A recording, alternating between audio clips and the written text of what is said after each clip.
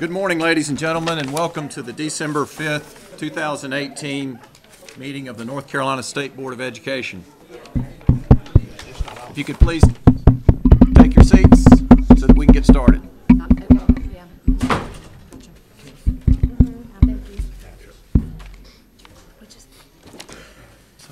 Again, welcome to this December 5th, 2018 meeting of the North Carolina State Board of Education. Uh, My name's Eric Davis, Chairman of the Board, and I call this meeting to order. Before we start with the uh, formal agenda, I'd like for us to pause for just a moment. Um, Our, our nation experienced the loss of, of a uh, terrific leader, our 41st president, uh, George H.W. Bush, recently, and today is, is a day of uh, remembrance and mourning on his behalf. But in addition, um, we lost one of our own recently, um, a Robeson County student, Miss Angular. And so, in memory of both of them and in thoughtful consideration for their families, I'd like for us to pause for a moment of silence, please.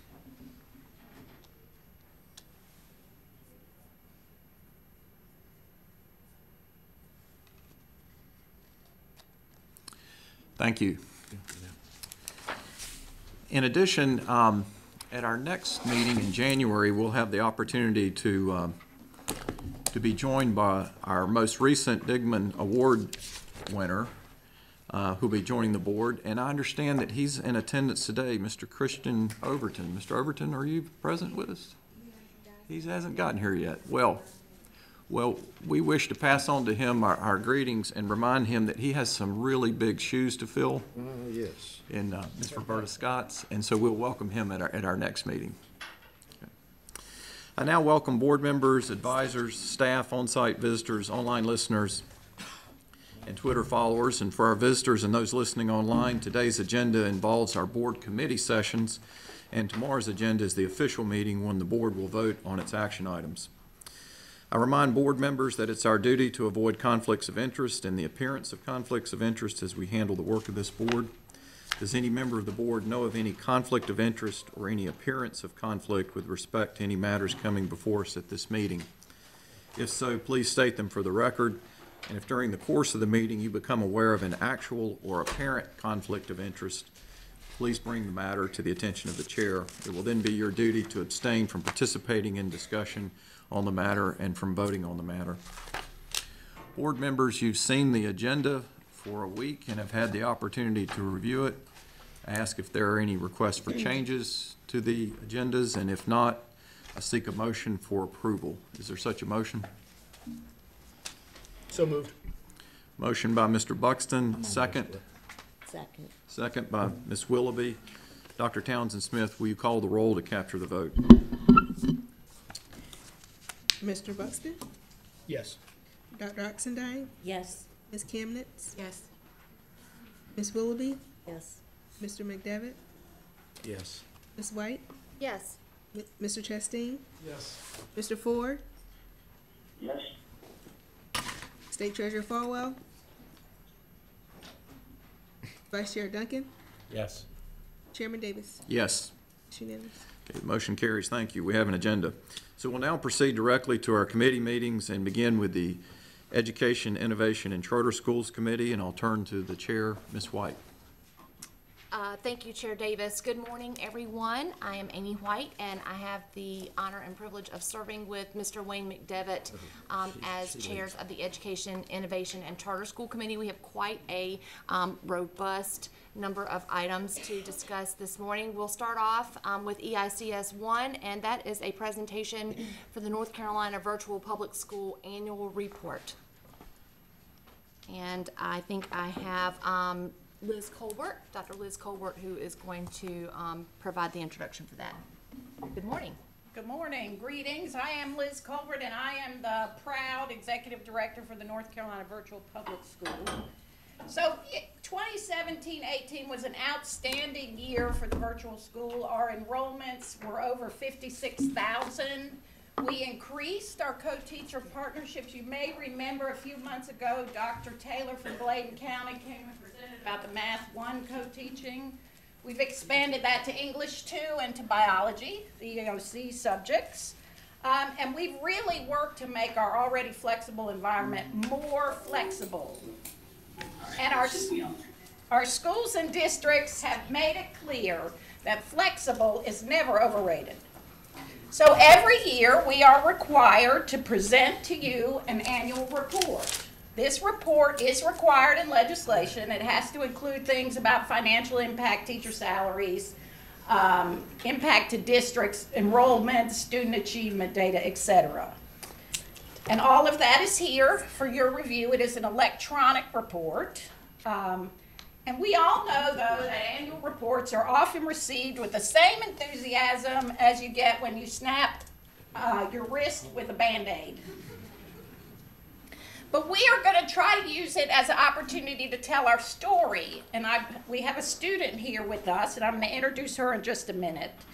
As you know, our mission is to provide equity and access for courses for students in North Carolina, regardless of their zip code. Another way I like to say that is we help students in North Carolina reach their dreams. For example, this year we had a student who was the finalist on The Voice, the TV show. We have a full time professional cricket player on our roll. We have two students who competed in the Confucius Institute. I have to look at my notes. At NC State, the ninth annual Chinese language um, speech and writing contest. We have students who are working fully online in order to train and with the dream of going to the NBA, and we even have a pro surfer. but to explain the impact, so that's the impact of NCVPS. You have the numbers, the information, all that is required, but it is the lives of the students that explain NCVPS. So with us, I've invited Elizabeth McDonald to co-present with me. She is here virtually. She is a senior at Hoggard High School in Wilmington. Elizabeth has taken five NCVPS courses with her in her academic career.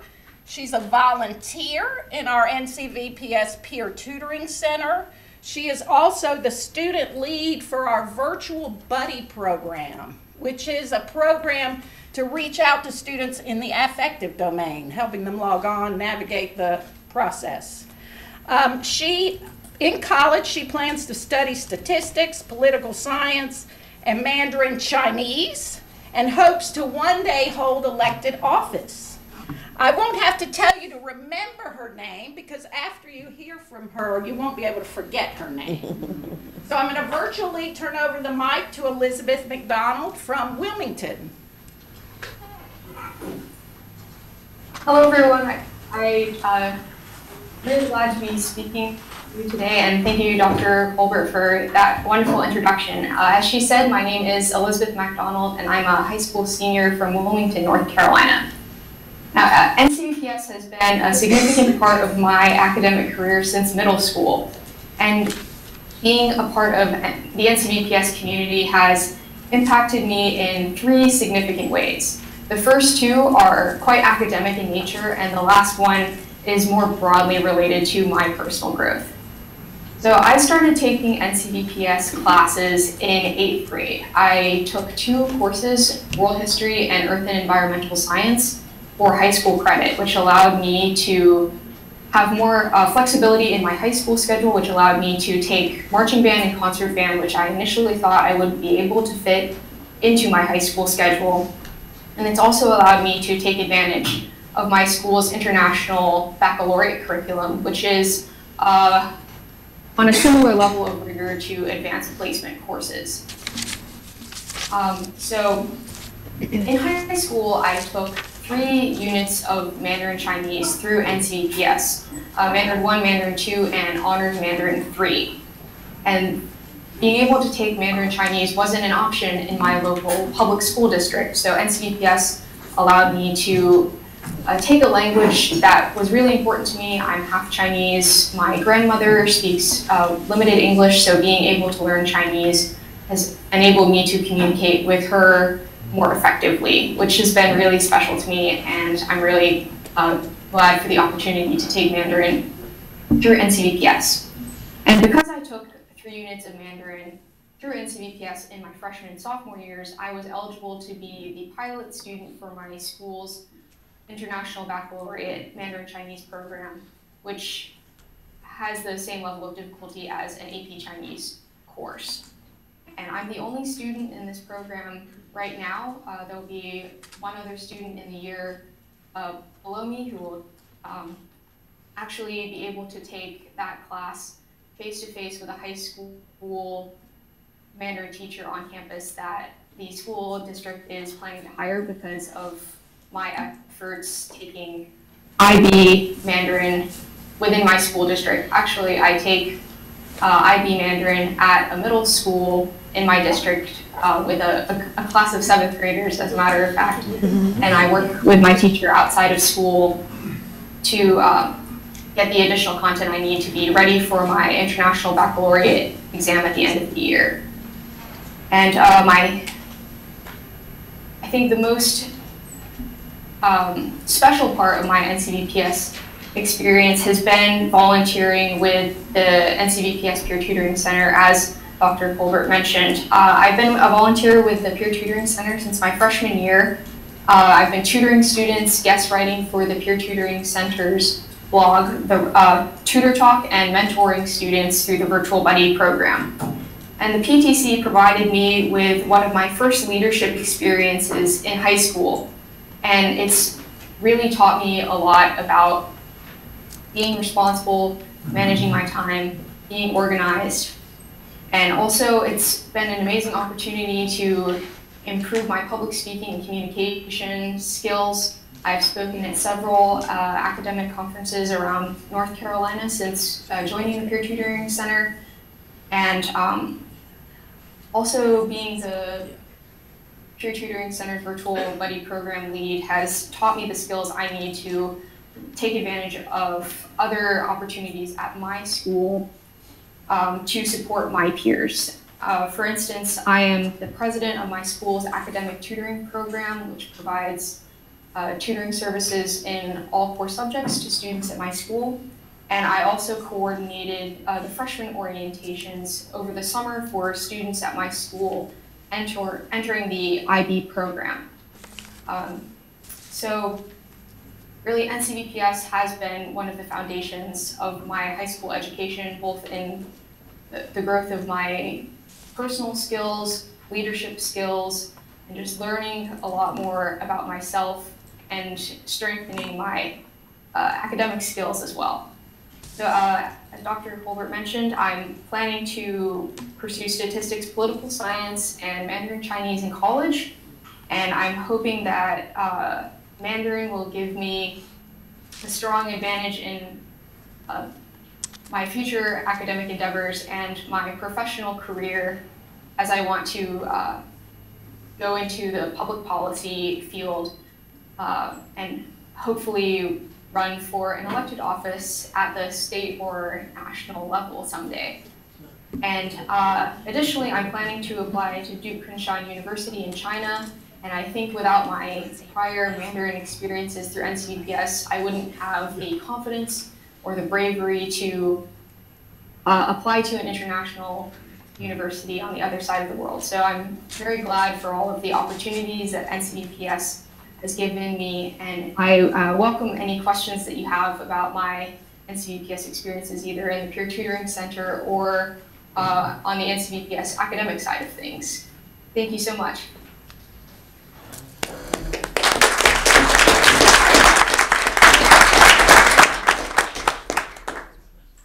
So are there questions for Elizabeth? I mean, this is where the rubber meets the road with the students. NCVPS was an academic avenue for her, but taught leadership, um, coaching skills for other people.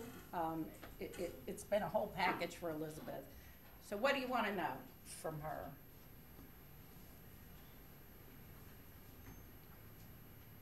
Hi, hi Elizabeth. This is Amy White. Thank you so much for your time this morning.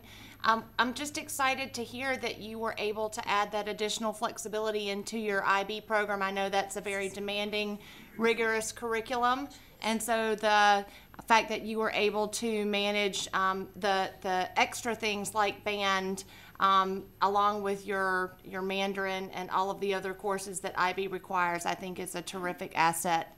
How would you um, how would you say your interaction is with um, your your your educators with North Carolina VPS? Have you been pleased with the type of support that you've received um, through those programming, for that through that programming?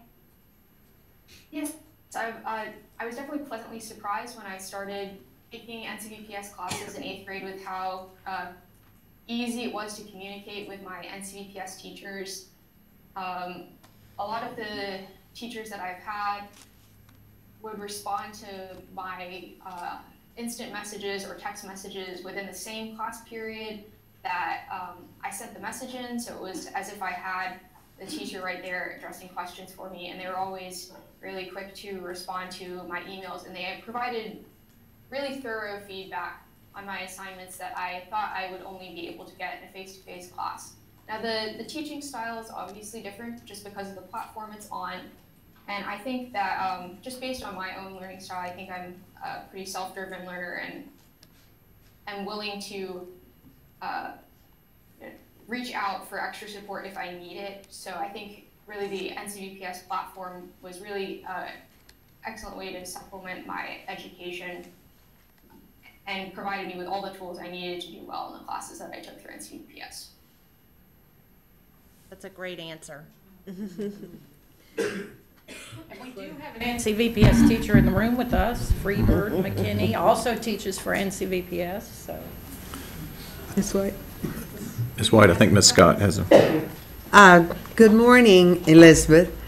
You have really made such a great presentation, and uh, for Thank that, you. I do indeed thank you. Now, you have been so successful with your challenging course. Have you uh, noticed that more students are kind of stepping up to the plate, maybe, and thinking about going into the virtual, you know, working with virtual classes? I think based on my experience with my friends and just the NCVPS students that I know at Hoggard is that um, I think my school has uh, quite a number of NCVPS students uh, just because it adds that extra flexibility to a lot of students' schedules, a lot of students. Uh, my um, ELA, my um, e-learning advisor actually told us, told me that we have about 700 NCVPS students at Hoggard, and I think a lot of those students Wow. are taking classes is great. for that additional scheduling flexibility, being able to take additional AP classes. Um, or if there just isn't enough room in classes that we have on campus, it allows students to take uh, those classes and, and get uh, those credits maybe sooner than they would have if only face-to-face classes were available. Does that address your question? It does, and I mean, that's wonderful to have that number, and it does allow students to spread out and expand and be able to take more courses that they absolutely would not be able to get in regular classrooms. Thank you so much. You're very welcome. And also, n- students don't have to give up, like she said, band in order to get the core that she needs or the language that she needs to graduate on time with her peers. So it is equity and access across North Carolina, but it's also the ability to pursue your dreams. You can take band and Spanish and not struggle with picking and choosing because you only have six periods or however many periods you have in a day. So, well, thank you very much. Oh, yes, sorry, go ahead. Freebird? you- No, you go ahead. Okay. So Elizabeth, I think you're a great example of how the, the IB schedule kind of books you and, and, and, uh, and holds you to certain classes, and this is an excellent opportunity to get those other classes. But I was interested to know, did you use all of your peer tutoring, any of the other services that you, you're working with to help your fellow students in NCVPS as part of your CAS project? Did you tie any of that in, uh, together? I am counting uh, a lot of my tutoring hours for uh, CAS. Good. Uh, for sure, and I've also counted the presentations that I've given on behalf of NCPS towards CAS. Excellent. It's been re- really nice to just be able to take something that I already love doing and have already been doing for a long time and count that towards one of my graduation uh, requirements for the IB diploma. Excellent, great work. And for those who, who don't know, CAS stands for Creativity, Action, and Service, and it's a component of the IB program that all students are required to complete. Uh, Typically, it's about 150 service hours. It's in a, a- about a two-year um, kind of uh, followed-through project. So I just wanted to make that, it's because it sounds like she's dedicating a ton of hours to that. So great work, Elizabeth. Thank you. Elizabeth, this is uh, Eric Davis. Um, In in addition to um, thanking you for sharing your story with us, I'd like to know where to send the check. You start your campaign. Um, And and second, and more seriously, um, I mean, it's great that the number of students that you mentioned that have have taken advantage of this opportunity, but um, do you have any advice for us for how to make this, these types of opportunities more accessible and available to more students? Um, I think, uh, based on my experiences with NCVPS and also what I've seen and heard from my peers is that, um, I feel like sometimes the content itself in NCVPS classes, um, go out of, out of date just because external links are broken, videos aren't available anymore, or just content, um, that might have been in previous versions of the classes is in the course when it really shouldn't be. So just making sure that courses stay up to date across the board um, for all students would be really helpful in just taking out some of the confusion uh, when we're going through our NCVPS courses. That's thoughtful. That's yeah, that was an excellent response. Thank you very much. We appreciate your advice. Yes. Elizabeth, thank you so much for your time this morning. We appreciate um, your dedication to your, um, to your studies, and we wish you Godspeed um, with your um, next step, whether it's um, overseas or here in the United States. Uh, We know you will be successful in, in whatever you choose to do. Dr. Colbert? Thank you, thank you, Elizabeth. Thank you. So we wanted to conclude by taking a few minutes just to look at the report. The link to the report is on eBoard. Um, that's what it looks like. It says draft because it is your vote that makes it official. Um, the report is divided up into the key areas I mentioned, some highlights, teacher pay, student success data. But the great thing about a digital report is that you can search it for the information that's relevant to you. You don't have to mark a book or flip the pages to find what you want to find. So I brought with me a few NCVPS experts who can go around and help you look up the things you want to look for the next few minutes. Um, Chris Kobe on the end, he's one of our newest team members, instructional director for social studies. Um, Brian Stevens, he is our director of technology, and Mia Murphy is our director of outreach, and she's the one who put this report together. So she knows every inch of it way better than most people. So I appreciate them for being here, but they can just walk around and um, look at the report, ha- help you look at the report. Um, so just, you want to just Okay, so this is this is an example. This is the scorecard. We used to give this out in um, paper format to each superintendent, but and this is statewide. The top enrolling districts, you can see New Hanover is right up there. Um, we have the charter schools grouped together. And then you can see Mar- Mia did the drop-down menu, and you can either pick all if you want to look at the state, or pick the five or six closest to you, pick the one district you live in, and then it'll search and show you just that.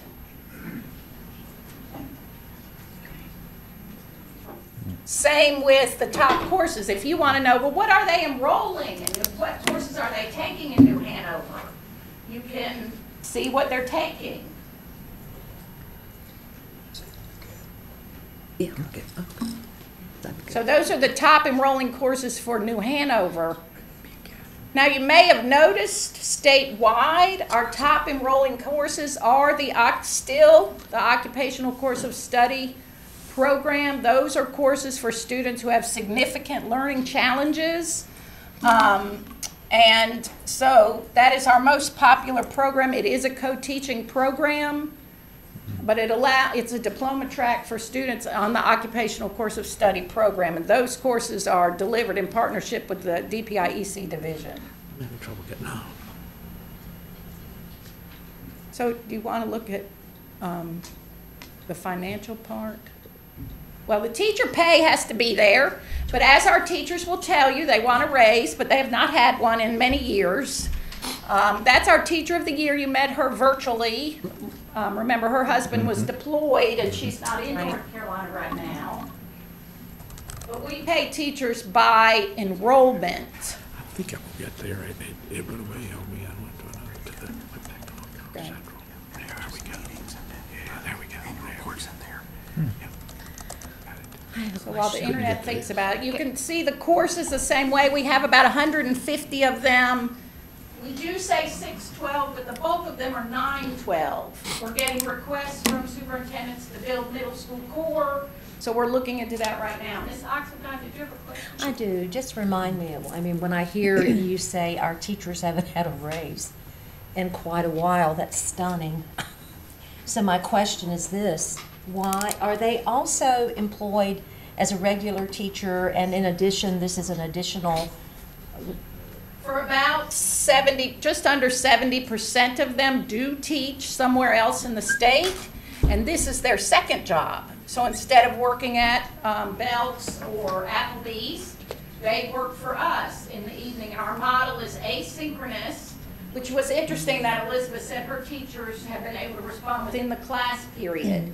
That's not always possible, but we do require the teachers, and you can back me up, to respond within 24 hours. And if, if, and it's the virtual classroom, we can check that. We check that, we look at that. Because online learning for NCVPS should be personal. It should be based in a teacher-student relationship. It should not feel like the great machine, even though it wouldn't happen without the great machine. It should not feel like the great machine is well, teaching. it's truly personalized learning. We talk about that term Yes. quite profusely, but here is the perfect example of it. So, um, they're paid, the, t- the teachers are paid based on enrollment. Is there some ratio? They're paid um, per, s- the number of students in their class, so it's 306. So for every student in the class, they get paid $306. So if you have 20, it's 306 times 20 or 30. All right, thank you. And we keep our class sizes at around 25, just like the face-to-face amazing. classrooms, because if you're going to deliver personalized learning, you can't, it's difficult when you got 50 or 60. But I'll just point out this one final thing in closing. We are working with Quality Matters, and I know, Dr. Oxendine, you know about Quality Matters. They are um, the national expert in quality in online learning. We have put that many courses through their filter to get their accreditation on our courses, and we will continue to do more. It's not free to do it, or we put them all in right away. Um, but our goal initially was to have one from each subject area, and now we have one that is AP and some electives, and so we're just gonna keep putting them through. We get good feedback on how to improve them if they need to be improved, or, and/or we get a seal of approval. So that's important to know in this um, climate when NCVPS came into existence 11 years ago. We were really the only game in town. So this matters now, accreditation matters, and so I just wanted to point that out. That's on the course page along with the course catalog. Mr. Buxton, then Dr. Oxendine, then Mr. McKinney. Thank you, Madam Chair. Uh, Dr. Colbert, who, by the way, was my first child's first principal. I won't say how old my first child is. I know, I've suddenly aged. Would there be a, a couple districts you might suggest use NCVPS particularly well and strategically to extend course offerings and really think about how they move students through personalized paths? Yes, New Hanover is really exceptional. Dr. Markley has been a partner of ours and a thought partner of ours for quite some time. Um, the other place is Bladen County. Um, Dr. Taylor is using it to you know, he has trouble recruiting teachers, you know, so he's using it to provide the courses, but he's also using it to help children who are struggling, which is why he's our champion for the co-teaching model. So, he, um, he came, but you hear it, but he, he'll talk to you about, he's about to be chair of our advisory council, so. Thank you. And then there's others, depending on what you want to know. Like some districts use it for core because that's how they deliver the core. And then some districts, like Wake, use it for specialty areas like AP Computer Science, Japanese. You know, everybody struggles with Japanese, getting enough Japanese teachers. So um, if there's a particular thing you want to know, we can connect you with the right place. That's probably the best way to do it. But they all have rationale around how they enroll and what they ask students, which students do enroll. Dr. Oxendine? Returning to Quality Matters, what processes do you have in place to ensure that course, all the links are operative? All the, talk about that, because that, that can really drive a student and a teacher up the wall. So we have a layer of, um, so we have something we call instructional leader and, and a course lead, and that would equate to the department chair in the school. And the instructional leader or course lead is responsible for that kind of thing, checking through the course, checking through the content, um, and making sure everything is working. Um, I will follow up with her on that. It sounds, um, more than I imagined. How about that? Um, so we also have our technology team that works with the courses and our curriculum team. They work together to make sure things are working. But through the Quality Matters revision process, you know, we go through it with a fine tooth comb. Right. So Very good, thanks. And Thank revision, revision is ongoing. Yeah. It it never stops. We have a revision process. We run link validation through the courses, we identify broken links, um, preferably before, like, the end of a semester in the beginning when we do new course copies. So there's a full process, and if there is something that is missed, it could be an announcement link. They can report that to us through the help desk, and we usually get back to them within minutes or hour. And we have it fixed, so it's an ongoing great. process.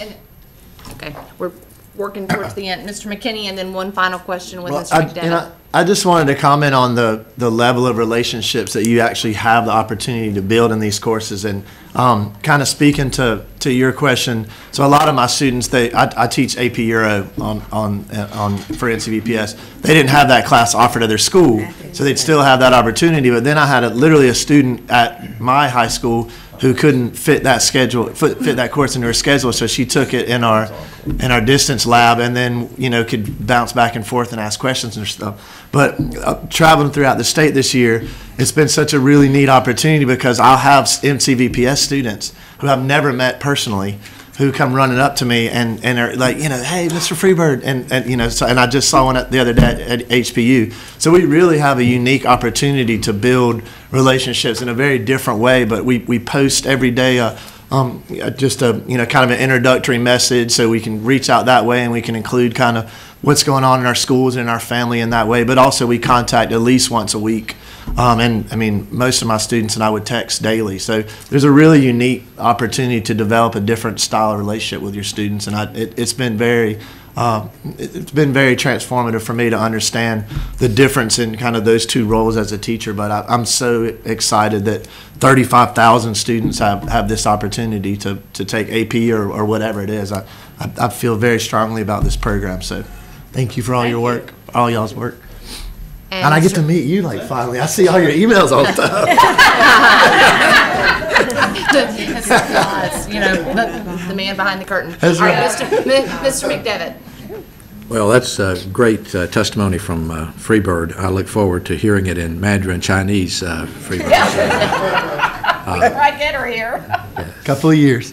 Some of us uh, uh, are old enough to know that, to remember when we were starting this with a blank sheet of paper, uh, well over a decade ago, and, and we had nothing. So I, I I appreciate this annual report, knowing that it has been growth in sometimes fits and spurts, and looking at issues as you're doing today and uh, trying to look at those. But I hear these questions, and uh, uh, around rigor and around relationships, and, uh, and then uh, we heard a presentation about relativity, and uh, it's, it's right on target. I must say that in those early days, I, I, you know, I wondered if it would be where it is today, NCVPS. And uh, this can be a game changer for a life and uh, for a family and a community. And I, I, I appreciate Elizabeth, but it, it just, it appears to me that she is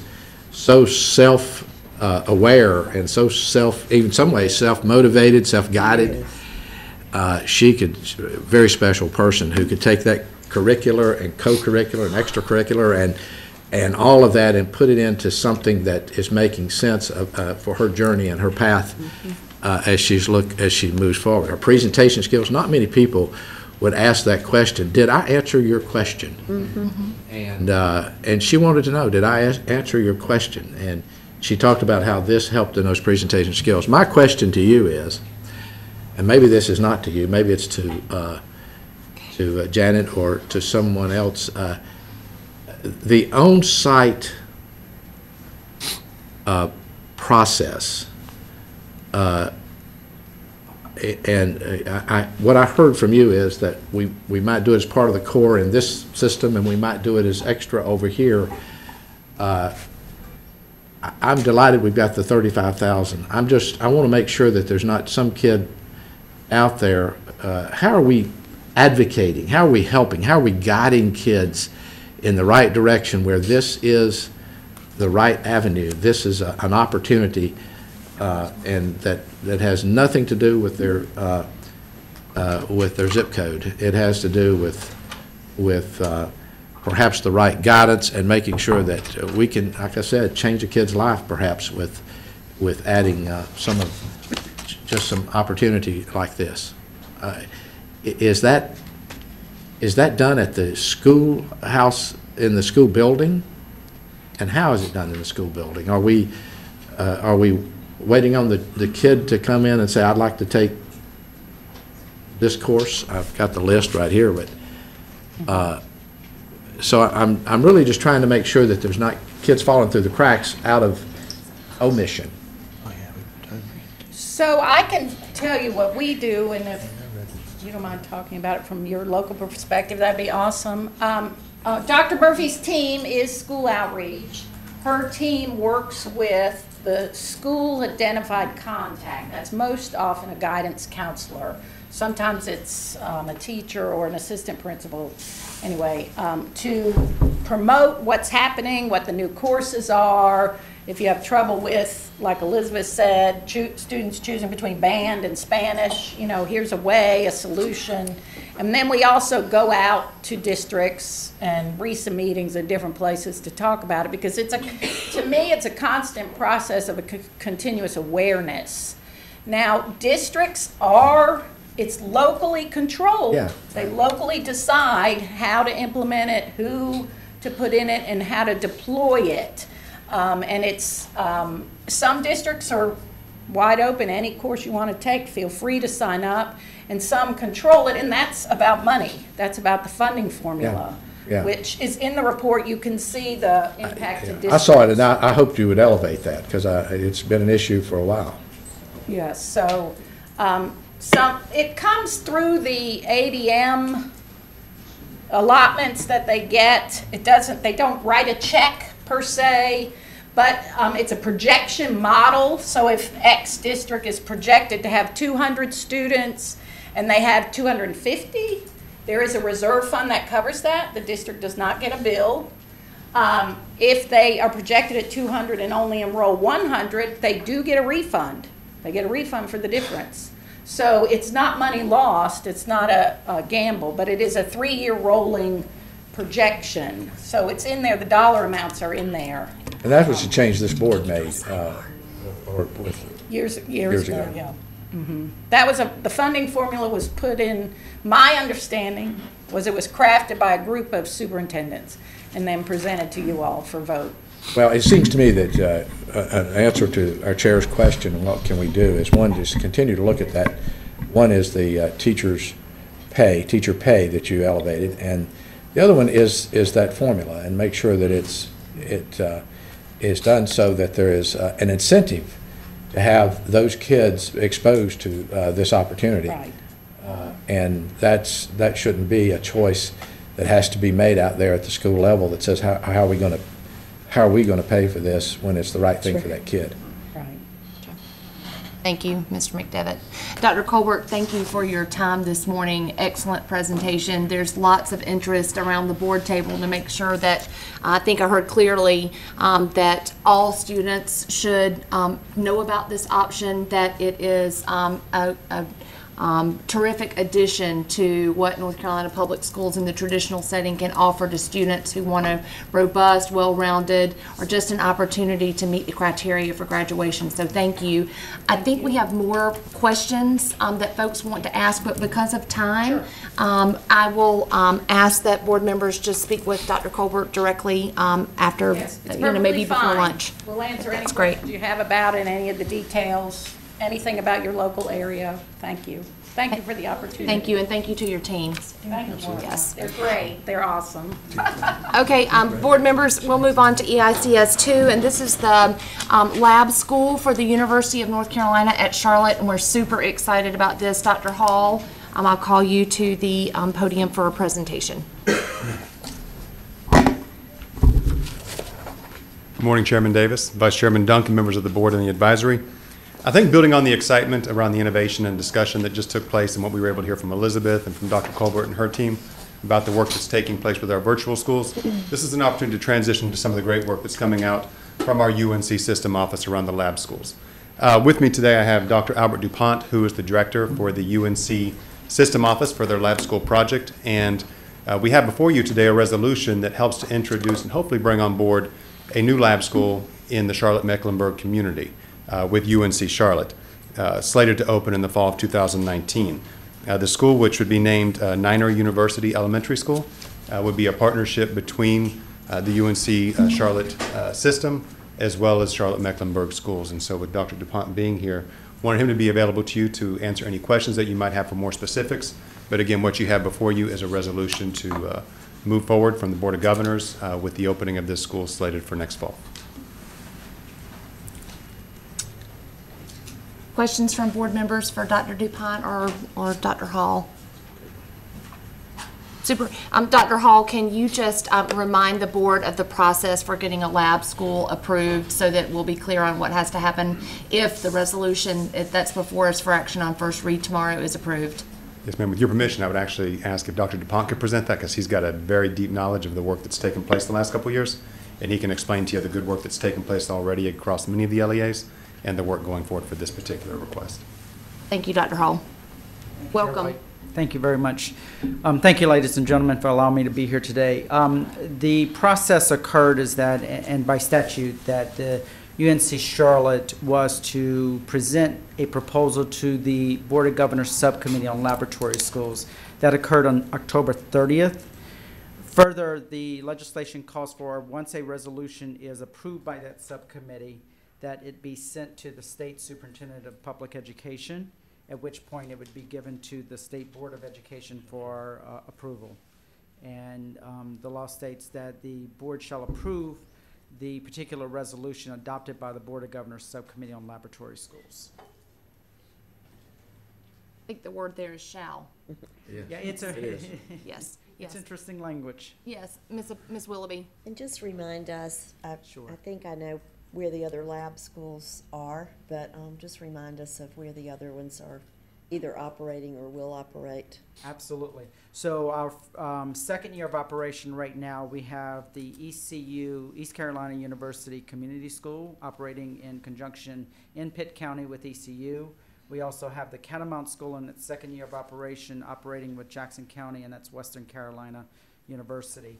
Um, This year, we opened up in New Hanover County, um, DC Virgo Preparatory Academy, which was also its former name, but it is under jurisdiction of UNC Wilmington. And it opened up this year. It's the um, K 8 year round. So they actually opened up July 18th, and they've been operating now for six months. The other two schools are in um, Winston-Salem Forsyth County Schools, and that is Appalachian, Appalachian State University Academy at Middle Fork and they're a K-5 school. And then lastly, we opened up in Rockingham County in Reedsville, and that is in conjunction with um, UNC Greensboro, and that is Moss Street Partnership School. Two, three, four, five. And then number six, right now, we have UNC, and then we have three other ones to actually, we're still working through three other ones to decide on the other three locations. And just, Yep, if I a may, follow-up? just a Sure. follow-up, um, not to foreshadow any coming discussions, but uh, this seems like a very good model for helping schools where you have, you know, a very um, well-structured way of providing assistance for those schools that, that perhaps need it. So just, we'll put that out there. I know we don't have data yet from these schools and the effectiveness, but you know, this seems like a uh, promising model.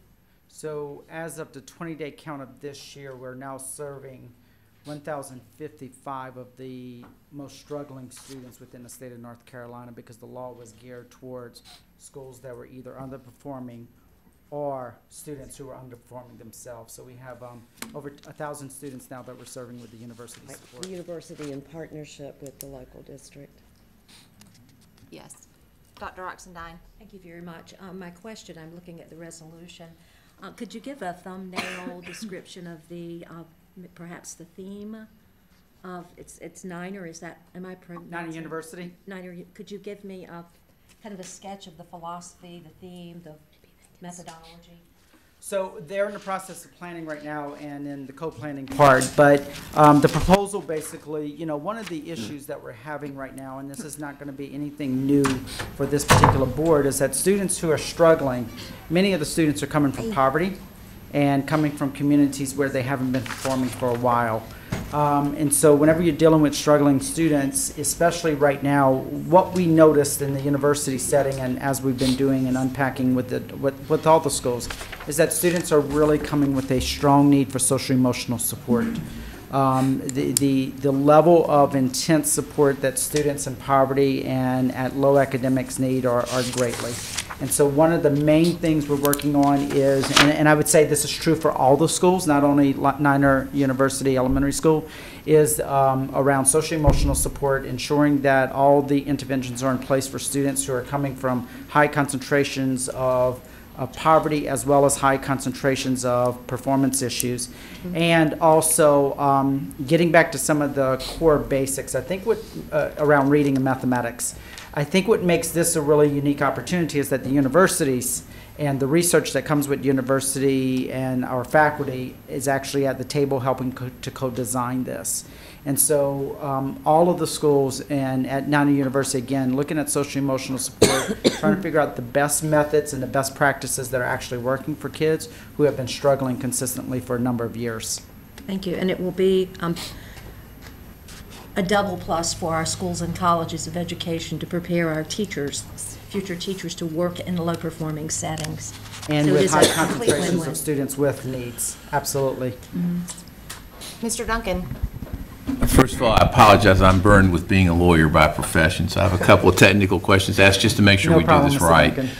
Um, One of the the mater- material states that uh, this does not meet the minimum threshold for the number of low-performing schools in the district, and I'm not intimately familiar with how the lab school, all the restrictions might be. Uh, Does this, does the board, in passing it, as is being requested, need to make some form of an exception or state some form of a waiver as to why it would be appropriate for it still to serve as a lab school in order to meet the spirit and purpose of the law? So the, the law actually provides that responsibility to the subcommittee on laboratory schools.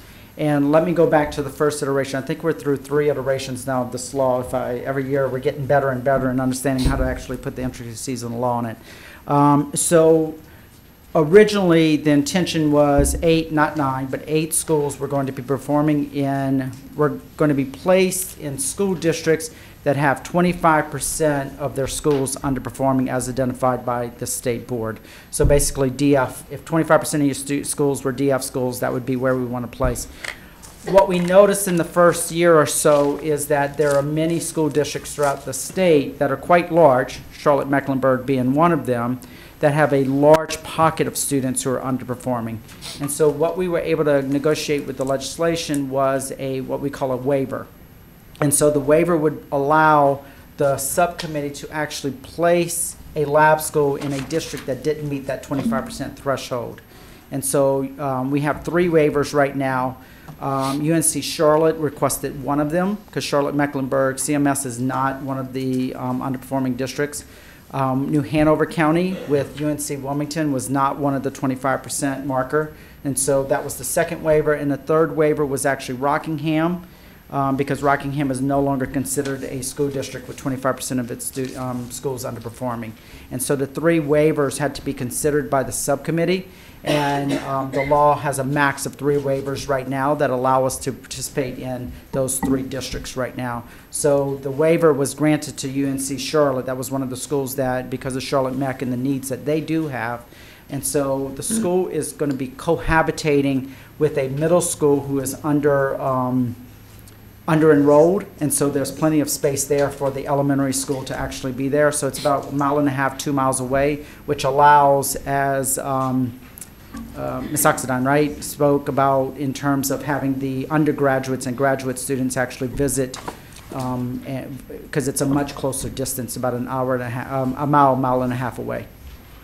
Well, agreeing with Dr. Oxendine's remarks about how helpful this could be for both students and our young educators, I think it's a wonderful thing. It'd be, also be important if we can find ways for it to be in some of our most impacted areas that are not necessarily by our institutions of higher learning, and I know that's a challenge when I say it, but I mean, we do have one, for example, um, as we've talked about before, Appalachian State University Right. commutes about 90 minutes um, to be able to get to Winston-Salem, Forsyth, um, Walkertown. And so that, that distance poses its own challenge, but we are considering that as we're taking a look at all the entities that are out there without um, 17, I think we have about um, fif- 17 institutions, but 15 of which have colleges or preparation programs. And the last question I have is, uh, I'm assuming, as I think I heard the law read, that it was required for presentation to the superintendent for approval and for us. I- I'm assuming the superintendent's already received that presentation and approval. So I submitted to Dr. Hall, who worked on behalf of the superintendent, but he can speak to that. All right. And I'm more than happy to, in, you know, Chair White, in, in the future, if, if, if more detailed information, we have a evaluation that was just done, submitted, um, a report submitted to the, um, Joint Oversight Committee. And so they're more than happy to come back for the, the board and, and make sure that you get whatever you need. Thank you so much, Dr. DuPont. One final question, Freebird. So, and I just wanted, to- the regional team just went to DC Virgo, and, and we were blown away. There, there's so many great things going on. I, I I urge, if you want to see just a, a model of kind of what this could be for the community, I mean, they had a community service center in the school that had uh, washers and dryers that, that parents could come in and use. They had computer center there, so parents could come in and work on um, applications, job interviews, things like that. They also had people coming in doing cooking, uh, and so parents could take part of that. They had an on-site doctor and dental facility where um, people would come in and volunteer times to come in as. I mean, it, it's it was we were blown away by the interconnectivity between the community and the school and, and the relationships there. So And it has a lot to do with the university resources, right? The university brings a lot to a community.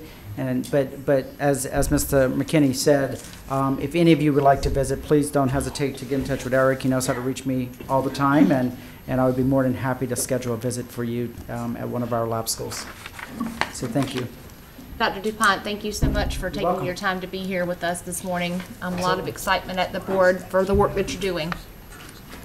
Okay, uh, board members, let's move to EICS three, um, the Global Achievers School Review Panel decision. I wanted to let you know that yesterday, at the request of Global, Global Achievers School, which is one of our charter schools, a review panel convened to hear the school's appeal of our decision last month to revoke its charter.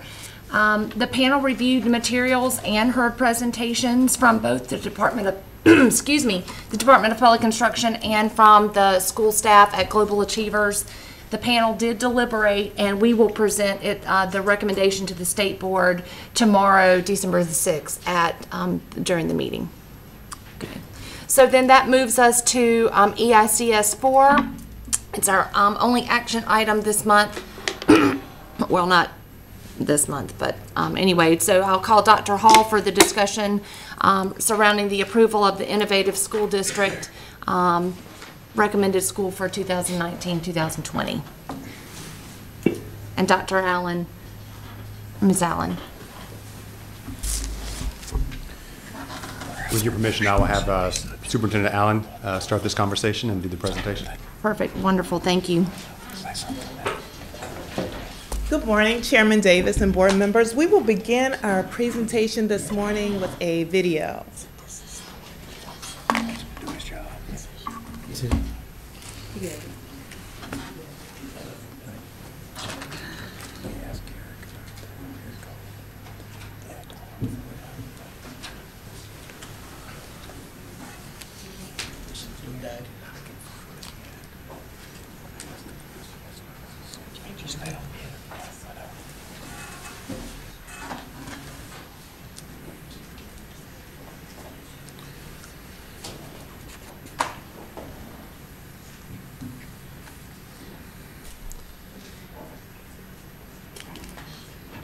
For those listening in, we're having a bit of technical difficulty.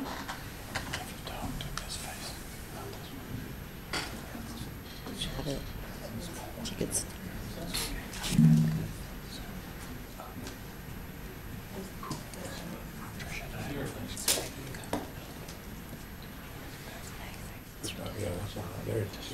Yeah.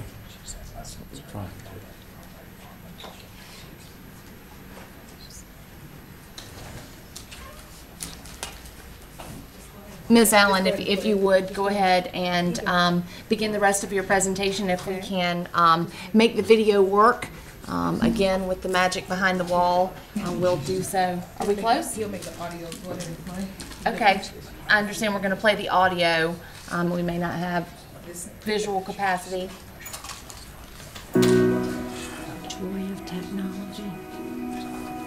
So the ISD was established to partner with local school districts and communities to create innovative conditions to accelerate student achievement and growth. It has been an absolute blessing for me to be a part of such a movement. And that's what this is. It's a movement to make sure that students across the state of North Carolina, no matter their background, are able to excel and achieve all students can achieve, and we know that we cannot fail because we will fail students.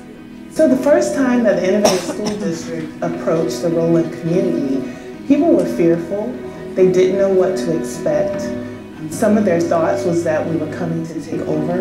It was really hard at the beginning because here I am, I'm coming in and the old perception, here comes somebody from the state. They're coming in to tell us, you know, we're here to help, we're here to do these things that are gonna, you know, potentially take or take control. Um, I think when people first heard about it, uh, there was kind of this negative connotation that, you know, the state's coming to take over because we're not doing it ourselves. Well, when the process first started, it was a feeling of fear because we were in danger of losing our schools. And of course, if a school is gone, it's like the neighborhood just dies out. And we didn't want that. As we went through the opportunities and the possibilities for the school, ISD coming on board, it really started making sense that maybe change is time. Maybe we need to make some changes in our way we're doing stuff. So let's take this as an opportunity to make it better so that our kids here in Rowland can see some progress and go forward with it. Instead of the newness being fearful, the newness is excitement. Once the questions got answered, I thought to myself, this is the place I want to be. Because I could see what ISD had in mind and all of the changes that they wanted for these students. And I wanted to be a part of the improvement in the school. I feel like ISD taking over has turned a new leaf. I want my babies to have the same opportunities as a doctor's child that lives in Charlotte or a lawyer's child that lives in Wilmington. Um, and sometimes our smaller communities, I feel like, get down on, like we're not we're not going to excel. And I feel like we can. And I feel like that's what's going to happen here. Our students are excited about school, they're excited about learning. Board. So it made that it makes that challenge a, a whole lot easier that you have a motivated student body that's that's enthusiastic about change and willing to learn. You don't know unless you try. Oh. And we can only be open to new ideas because we want to bring in the innovative ideas and strategies. We want to hear what's working across the United States, across North Carolina, so we want that here in our hometown. Give it a chance. Let the process work. Us seeing, you know, the parents and the educators in the community, they're our customers. We're here to serve them. And it's not about taking anything away, it's about empowering and lifting up those voices in a way that create the best conditions for, for success in the classroom.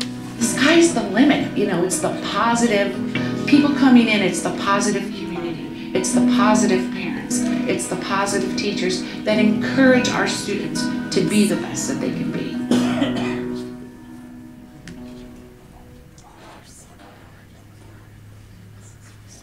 So we did get an opportunity, of course, to see the video, but what I would ask the board members, if you would look, um, the presentation has, is up on eBoard, so if you can follow along with our presentation, um, based on, from what's on eBoard. Uh, Board members, the, um, we have had a technical difficulty. The bulb in the projection system um, is out and won't be able to be replaced um, until we take a significant break. So I'll direct you to your iPad or laptop in front of you so that you can follow along with the materials that have been loaded on eBoard.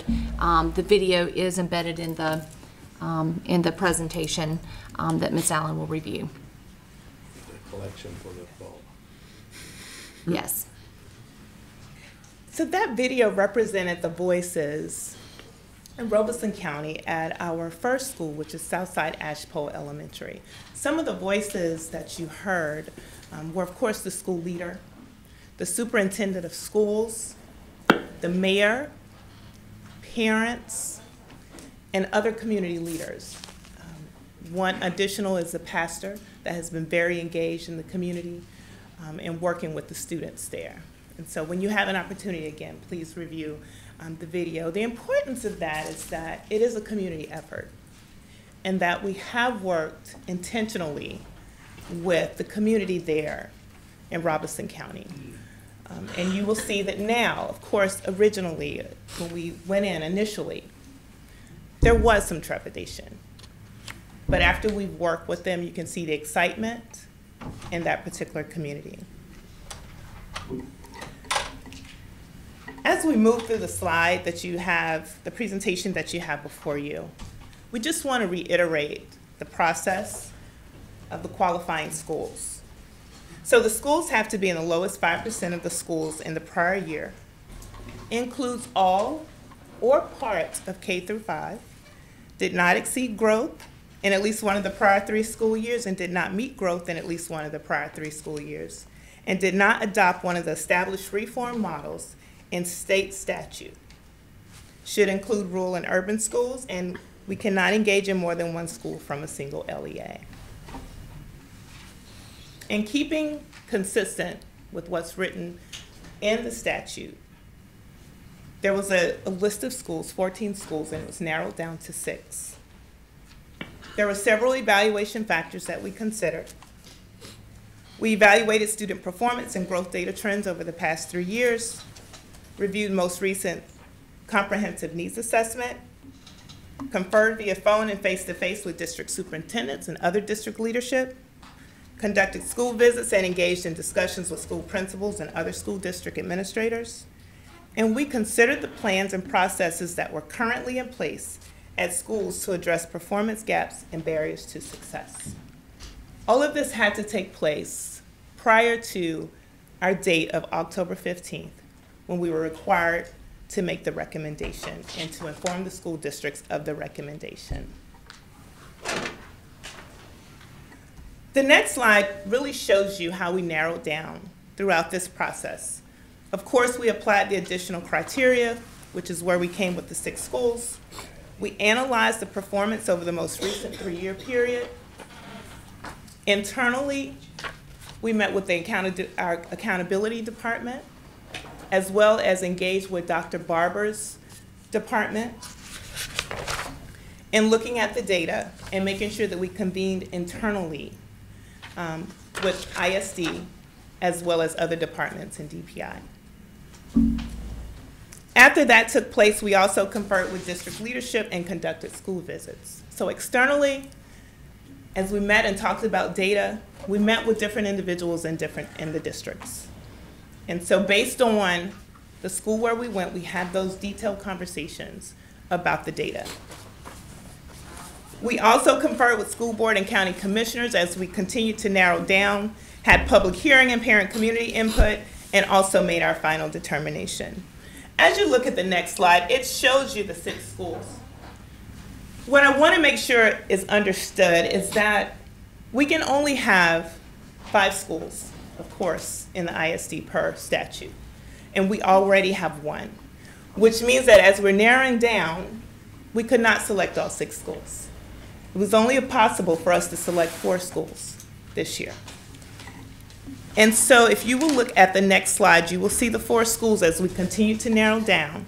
It was Carver Heights Elementary, Fairview Elementary, Hillcrest Elementary, and Williford Elementary. And so you can see the data for those schools. On this particular chart, you will notice that Carver Heights Elementary is the lowest performing in regards to data. Close behind is Williford Elementary School. And then you have Fairview and Hillcrest. As we talk about our engagement in the districts, you will be able to see as we started to narrow down, we were looking at what is actually taking place in the school for school turnaround um, to, as we continue to narrow down and make the best decision for the school that we would select for recommendation. The next slide shows you a four-school comparison of the overall CNA. There are five areas, instructional excellence and alignment, leadership capacity, professional capacity, planning and operational effectiveness, families, and communities. There are four designations along this continuum, lacking, emerging, embedded, and leading, with lacking being the lowest on the list and leading being the highest. In these four schools, they all had a designation of either lacking or emerging. And so the chart provides that information to show where they all fell on this particular continuum. So at Carver Heights, all of the areas were lacking except for family and communities, which was emerging. For Fairview, there were four lacking, two emerging, leadership capacity, and families and communities. Hillcrest had all lackings in five areas, and Williford had three lackings and three emerging in the areas of leadership capacity, planning and operational effectiveness, families, and communities. Yes, uh, Mr. Just a Buxton. point, point of clarification. I Got lost on six to four. Okay. So is the criteria that brought us from six to four the school-wide on grade level? Yes, so the data that you see in the chart above, you'll see the six schools. And look at the data, and as we continue to evaluate and narrow down, yes, it was the four Here's, lowest. here's per- why I'm just having trouble. Okay. This will just take a second. Which attachment is that? As I look at Gaston Middle, Take one this one off. as an example, and I look at where those students were at eighth grade as they're about to move to high school. It's down there. I'm looking at seven percent proficiency in math for all students. I'm looking at seven percent, no, I'm looking at under five percent for economic disadvantaged Looking at twenty-three percent in reading. So at the, at the end, as they're about to move on, where we've got these things, we've got, we've got numbers that that make these look. I'm just, I'm unclear why that one number is driving the narrative. And the one number that you're referring to It's is? the one that you referred us to, which is the overall grade level. Yes, so we have the grade level proficiency. We also have the average school performance score. If you, are you looking at the Yeah, I'm sixth looking- chart? I'm- I'm looking. And we also look at the school performance grades over the last three years. Does the CNA factor into that as well, to the narrowing? The CNA has factored in. We looked at the CNA um, more deeply as we narrow down to the four schools. Yes. And so that's why you'll see the chart that has the CNA for those four particular schools. Yes. Mm-hmm. You're welcome. Okay, Ms. Willoughby? Follow up to that, I, I still am not clear. So because of the glaring number that um, Mr. Buxton just pointed out for Gaston Middle, how, how did that one get dropped off the list? I, I still, Mm-hmm. Maybe you felt like you got your answer, I I just, I think when you, if you just, if you look at the overall number and the average performance score and the school performance, with those three kind of multiple measures. And So, Gaston actually has, yes. Where we have kids, they're moving on to the next. I think we're discomforted by all six schools, and that's why they're on the list. Yes. Um, and so. Yes. Yeah, And yes. so Yes. the, yes, and so the, um, Gaston actually has the highest score, if you look at it, overall score out of all six of the schools. and I have one follow-up if I may. Sure, Ms. Willoughby? Um, the, the rubric that you used, I suppose, um, when you looked, when you show the four-school comparison overall CNA, when you looked at things like leadership capacity and Carver Heights and Hillcrest show lacking, are you talking about the principal? What do, you- what's the leadership? So that's in regards to the comprehensive needs assessment. Right. Um, and so if you look at that particular area, which was, all of that information was provided in detail, it's a pretty detailed, um, document. Right. Um, and But so. would you, what would you say is really driving the, the decision? When we look at emerging and lacking, Mhm. and, you know, some, there is some subjectivity there when you make those assignments. Um, so particularly for, for the leadership capacity, when, when we know what, how important that is to the success of a school, I'm just curious about, in your opinion, would you say that it's So you look at the leadership of the school, of course, the principal is including, uh, included in that, but leadership does not just stop at the principal. It's also the the administration of the school. Um, And so what I would say in that particular area, and I don't have the, the actual summary in front Yeah, of me. you sent, we have all that, but Um, Yes. I'm just looking at kind of weighting that and wondering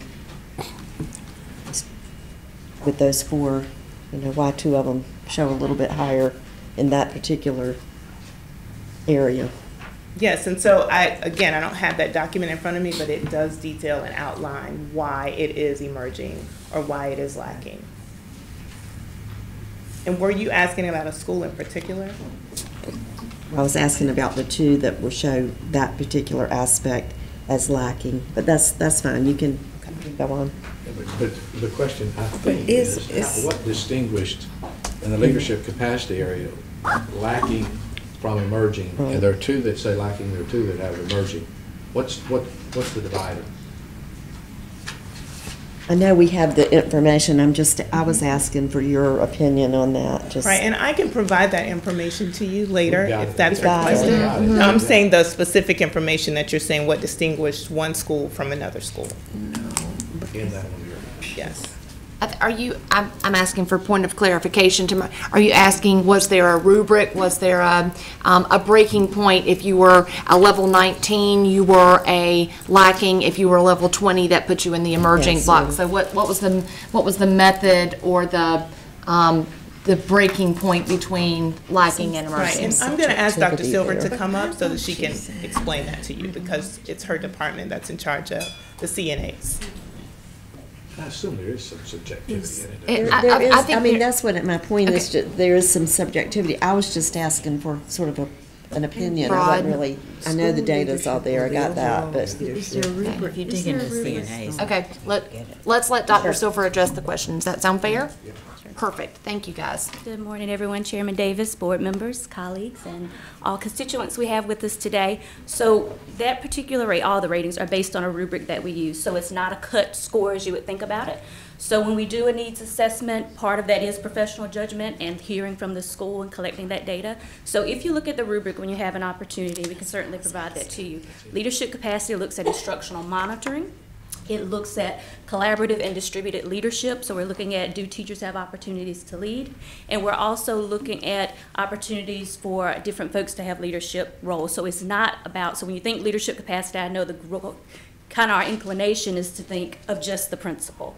But the rubric looks at several aspects, which also include strategic planning and mission and vision.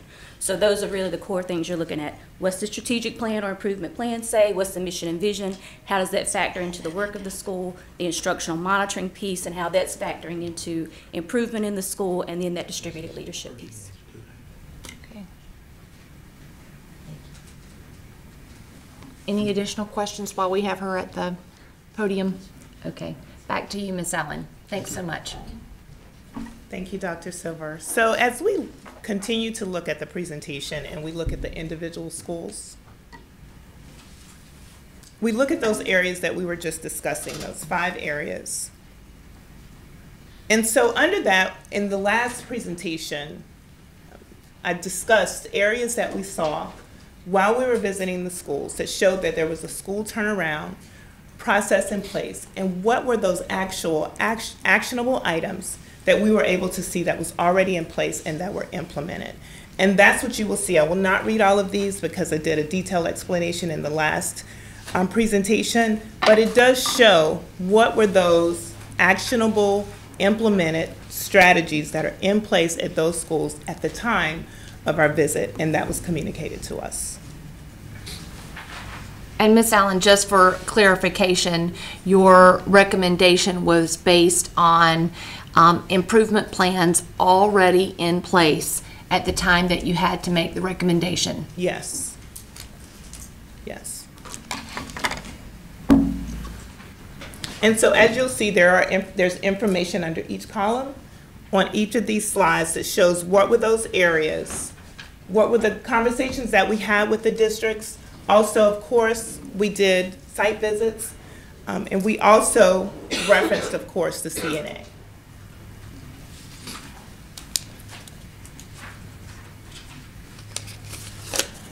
So the next slide actually talks about the engagement that the board requested that we do. Um, additional engagement in the community. And so I will discuss some of the meetings that we had an opportunity to engage in in the community since our last meeting. One was meeting with the mayor and city councilman. We had a great meeting with the mayor and city councilman. They had, uh, and the mayor pro tem had many questions um, in regards to the innovative school district. What was communicated to us was that they were ready to see a- change for Carver Heights Elementary School. And so there were many, um, there was information that they had that was incorrect. And so we were able to provide that information to them so they, they could see actually what is the innovative school district. Some of that included that it was an, an outside organization um, that was not attached to the State Board of Education. And so those are some of those questions that were, that were had um, by, the- by the mayor, Mayor Pro Tem, and the city commission. We also presented to the city commissioners at a meeting, um, which also went very well. There were a lot of questions um, to us as well, and we were able to communicate effectively. What does this process look like? What does it mean for the community? It's in a, a process where we're engaging with the community. We're not leaving the community out. This is a community school, and so we realize that we want to make sure that those individuals are involved in the process as well. After that meeting, we were also invited to present to a group of parents of Carver Heights Elementary. Again, the same thing transpired at that particular meeting. There were many questions. Um, Parents had many concerns. And so we were able to have dialogue with the parents to answer some of the many questions that they had as well. We also met with Men Who Care of Goldsboro, the NAACP. We had community meetings and ongoing grassroots efforts with Carolina Can.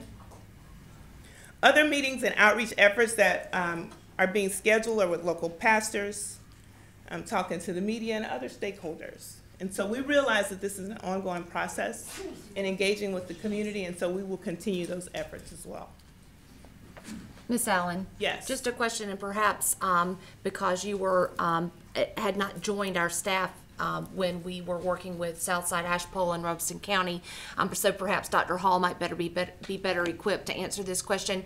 Can you, Dr. Hall, is it fair to say that most of the um, bridge building and community efforts um, occurred in, in um, Rowland after the school was selected, that that was when the true work began, getting all of those community stakeholders to the table to wrap its arms around um, the, the efforts by the, by the Department of Public Instruction to turn the school around? Yes, ma'am, definitely. I mean, there was obvious, you know, no surprise to probably anybody in this room or anybody out there in the larger context of these discussions that we've been having across the state for the last 18 months, that, you know, on occasion, I mean, there's, there's been definite, you know, concerns, pushback, questions, dialogue that has to be had. And that's where I think you see a shift once the decision was made in the situation of Southside Ashpole. We still continued. We didn't just step away because the board supported the decision here. What we did is actually took a more intentional focus on how do we engage more deeply with pastors, community leaders, to help bridge the work that was going to be going forward. Because the fact of the matter is, as you know, Ms. Allen said, this has to be a community-led reform. If it's not, then it's us doing something to somebody versus doing something with somebody to build the capacity for the long-term change. And so we know that the conversations are tough, but to your point, Ms. White, absolutely there was a significant shift, but it was also a shift not only in the community, it was an intentional shift for the ISD to ensure that collaboration and engagement with the families, with the community leaders and others that we knew were going to be there for the long haul, even after the five years when the ISD leaves. Thanks, thanks for letting us interrupt. Any questions? Just uh, Dr. Chair? To continue on a, a bit further with that point that- that you are making, Ms. White, or the question you're asking, Ms. White. Is there, could you discern whether the level of community engagement happened to be stronger in one school versus the other, either prior to the, the school going into the schools? Uh, My question is, can you discern if there was long-term or some sustained effort by the community to be engaged in the schools, one versus, one school versus another, in terms of strength, presence of the community?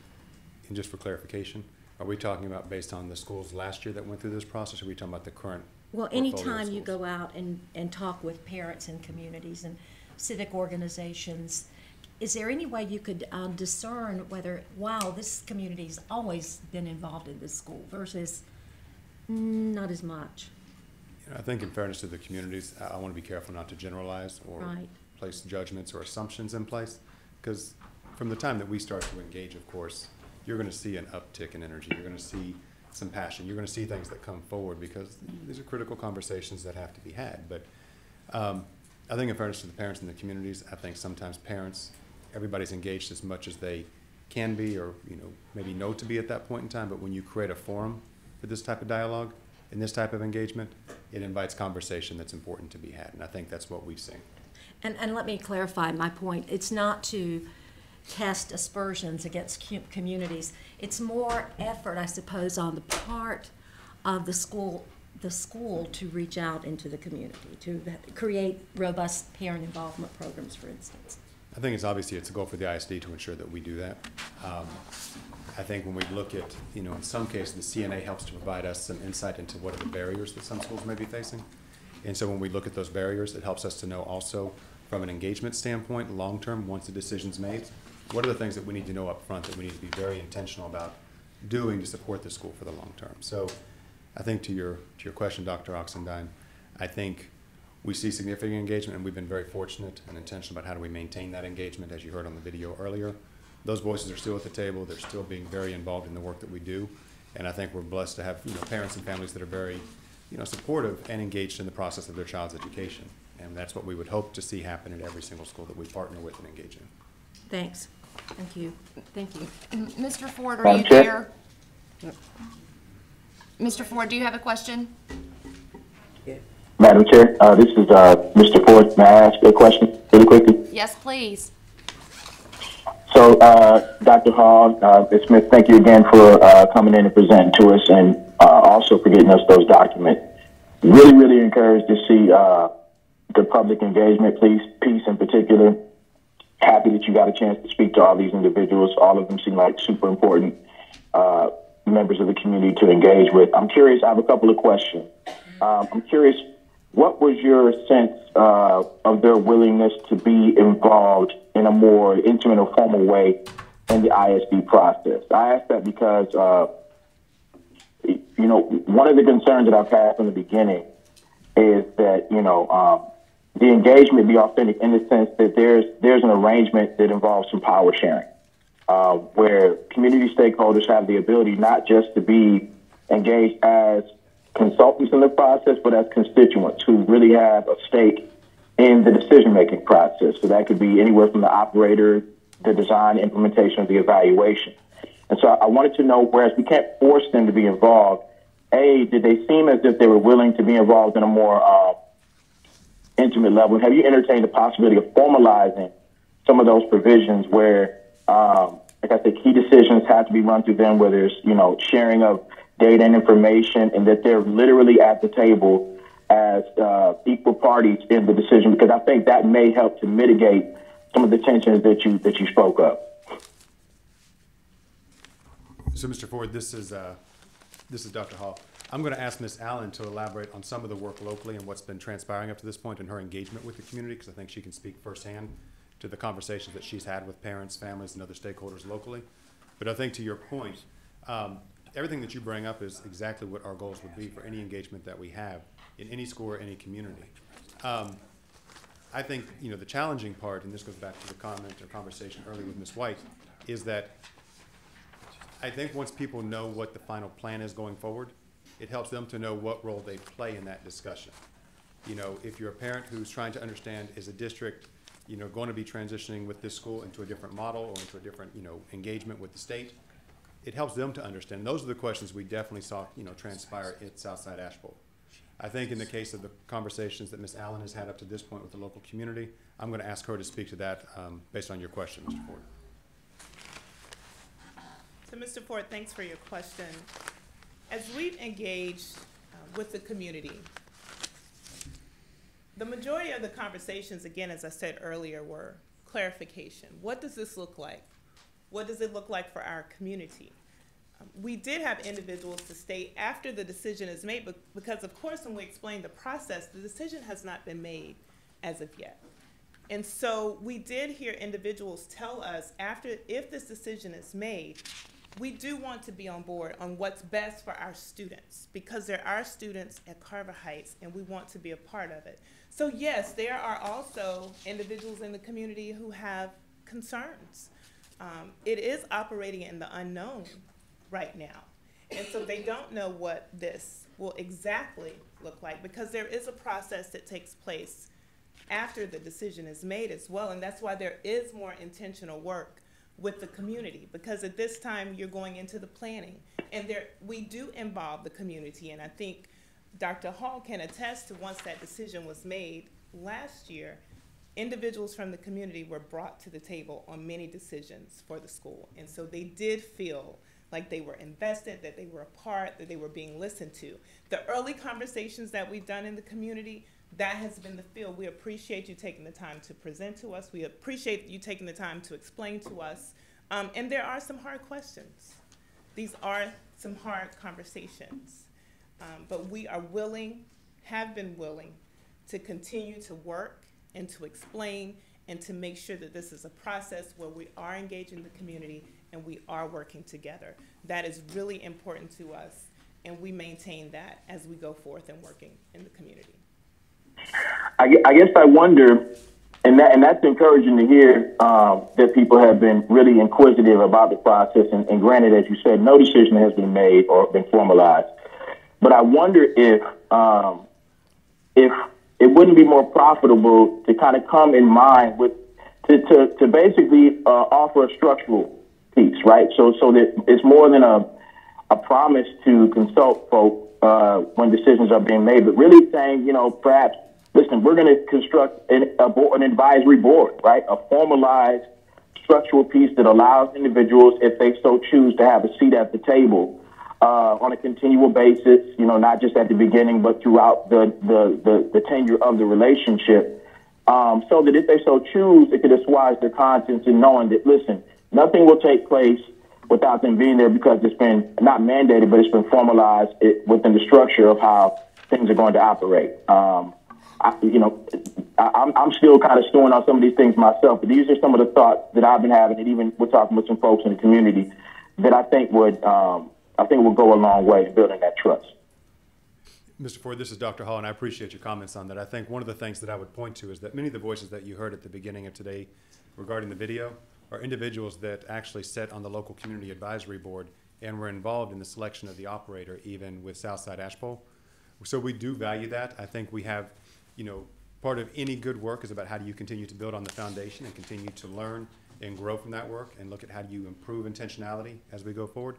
And I think what's important to kind of point out, you know, when we had our meeting last month and we started on some of these conversations and the feedback that the board provided, which I have to tell you we value. I think you're asking the right questions and it's helping us to think about the work ahead.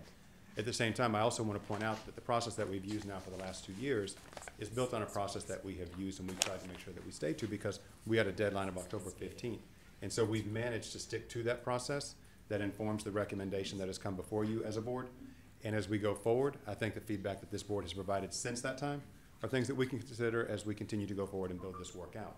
Again, we're still at the starting point of this work. I think the good news that I see above all else is that while we've had four schools that we've been able to identify, you know, when we came to this consideration, we had to make a real hard decision. Do we come with four, or do we come with the one that we identified as of October 15th that did not have a specific plan and strategy in place in our conversations? And in that conversation, we had to come back and really discern with the board what that recommendation is based on. Data informed, you know, comprehensive data school-wide is what got us to this point of looking at where the schools are at that period of consideration. Using that process, which again replicates process we used last year, we stood before the board and we recommended the one school because we could have, again, said all four.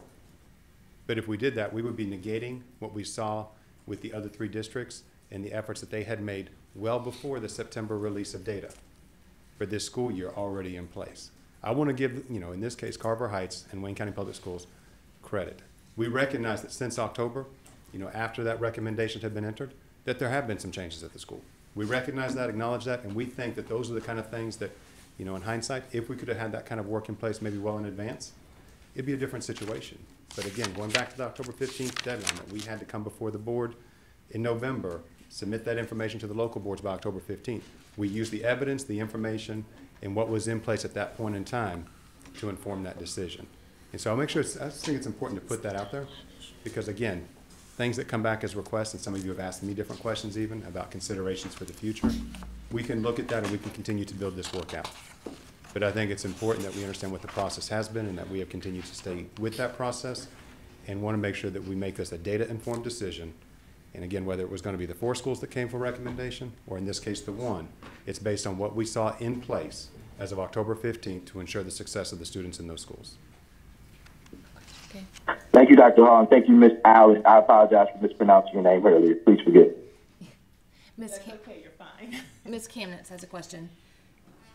In this process of uh, considering all this data and narrowing it down and down and down, obviously the two of you were deeply involved, but can you give us a sense of who else was involved in those discussions?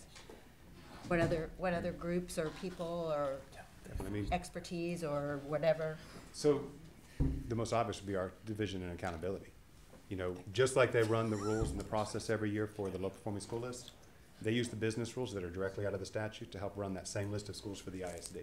So we review that information with them to make sure that we have, again, a good, strong understanding of the data and the information, and also pointing out that the data that we use, and a good example, like even the K-5 designation that came up last time, that's information that is actually entered by the local district into a system called EDDIE. So these are the data systems that we have to pull from to help really inform this process. So accountability is a good starting point for us when we look at that annual list of schools that qualifies. So their expertise and being involved in this work long-term and for many, many years with creating the low-performing school list, even down to consulting and engaging with individuals like, you know, Dr. Silver, Dr. Barber's team, understanding their engagement and things that go into this process. So we definitely work with many professionals around this body of work and, uh, you know, at the same time, go back to what the law requires when it comes down to getting that list of schools that qualify. Mr. Duncan? Thank you. I, I don't know if, I'm assuming y'all are finished your presentation at this point. So I'm willing to wait till the end to make a comment. No, that's fine, you can go ahead. Okay. My recommendation is still for Carver Heights Elementary School. Okay. Um, so I have- several thoughts and I'm going to share them for better or for worse. Um, so let me start by saying I appreciate the work that's been done because I don't think you have an easy task. And I think the statute is the timeline of the statute, which I'll come back to, sets it up to make it essentially an extraordinarily difficult task and one that I'm not sure can be done with the type of fidelity and excellence that we all strive for for our students. So that's sort of a starting point. My next starting point is, um, I believe in Dr. Patrice Faison. Um, I- and I have long-term evidence to believe in Dr. Patrice Faison. And I believe good things are on the cusp of happening at Carver Heights. Um, I believe in the staff because she believes in the staff, and she's had the chance to spend some time with the staff and understand the staff, and uh, she believes that she can turn that school around. I believe in the, the uh, staff of the Wayne County Schools and their commitment to this school. And I believe in the uh, school board members who believe very much in this school and for the betterment of the students in their county. And I believe in the community and how much they care about their schools, and I, I think we've all seen a lot of evidence of that. Uh, I also appreciate the fact that in this very difficult discussion, uh, Wayne County has advocated very strongly, which I would expect them to do for their students and for their schools. But they have not, to my observation, done it by way of attacking other schools that were under consideration. And that matters to me because it would have been tempting to get into a big comparative contest. And they have avoided doing that, at least around me, uh, or any information I've received. And I'm appreciative of that fact. So then that sort of leaves um, the question to ask is what's in the best interest of the children of Wayne County who go to Carver Heights or to the children of the other five schools that were selected as the six finalist schools? What's in their best interest at this point? Uh, because after all, that's what we care about the most is we want our children to succeed. And the context has changed. Uh, and I, I, say this in particular, fairness to the staff. Uh, the context under the timelines that were dealt with, where a decision had to be made, made an extraordinarily short time deadline for what recommendation was to be made for one or more schools. In that timeline, I think the staff did what they could do within that timeline, but I don't think there's enough time there to do all that one would want to do. And I suspect staff, under careful examination, would say we would like more time to do more. Uh, and in the same time, as uh, has been observed, several of the other schools had already made some changes, uh, and Wayne County made its most significant changes, I believe, after the timeline of when the first recommendations came out. And so it's, it's, it, the context we're talking about now is not the context, not the exact same context that was being, being dealt with by our staff as they looked uh, into possible selection of a school, and we just have to look at look at through two different prisms. One prism is what our staff did. The other prism is where we are right this second. And where we are right this second causes me to come down and answer the question is what's in the best interest of children here uh, to two or three thoughts. Um, one of them is I believe we need to have meaningful discussions with our legislators about whether or not the timeline is right or whether or not this approach, the way we have it situated right now, is right. And I believe uh, that those conversations can be fruitful in some respects because I know some legislators who were involved with some of the, in some of the districts where some of the schools were selected when they saw the process and the timeline being so short were themselves concerned. Legislators who are supportive of this notion because they care about kids, but they themselves were nonetheless concerned about the timeline and how it worked. Uh, so I think that's one thing we need to do. I, I personally would like to have a better idea of, of, what possibilities exist for a waiver under the legislation to see whether it can get further consideration before we actually select a school for this year.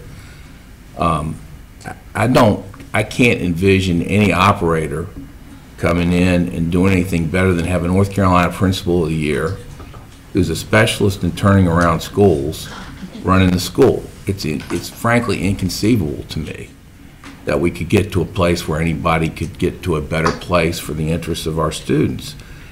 And so, in that light, you know, is there possibility for a waiver? Because I need to say about the other five school districts, if we were to suddenly decide between today and tomorrow we're going to select one of the other five school districts because of the changes that have been made since that time, um, the word fairness is important to all of us. And I don't think that would be particularly fair. They would be completely blindsided. Uh, it would make uh, the job of Ms. Allen and Dr. Hall virtually impossible because the communities would be very resentful of being blindsided in that context, and it would make the work of the ISD, which whether one agrees with the ISD philosophically or not, it's a policy decision that's been made.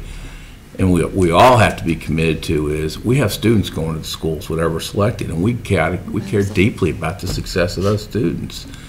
And so we don't want to blindside anybody or any community. So I think a question about whether or not a waiver uh, is, is conceivable is at least something that we ought to think about or get additional information on. And I'll say the last uh, thing is in terms of who operates the school, if we are compelled to have to go forward, make a selection, um, and if, for- if the majority of the board feels consistent with the recommendation made by the staff, that that school should be Carver Heights, then I can't imagine who the operator could possibly be better than Wayne County Schools with the staff that they put in place. Because I believe in that staff and I believe in what the work that they'll do. And so, um, don't take this lightly. I mean, I know Wayne County be the first to say they want better for their schools, and I think all of us feel that way for all the schools, all, all the schools that are on this list. And I don't mean the list of six, I mean a much broader list. We want better. Uh, I think we've motivated change with this, and positive change in a lot of districts, and that's really a positive thing. So I think we try to, need, need to try to look at the positives, and at the end of this discussion, find a way as what are we doing that's helping our kids? Because Lord knows that's what we all want to do.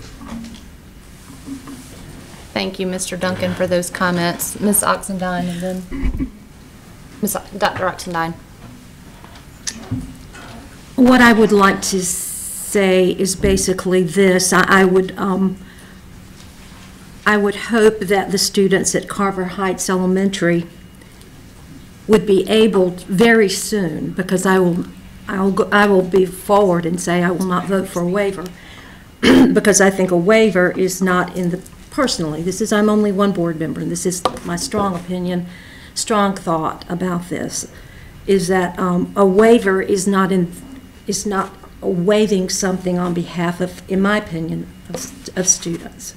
I think a waiver is, to me, would be acquiescing to the political winds or acquiescing to the best interest or the wishes and whims of adults, not that of students.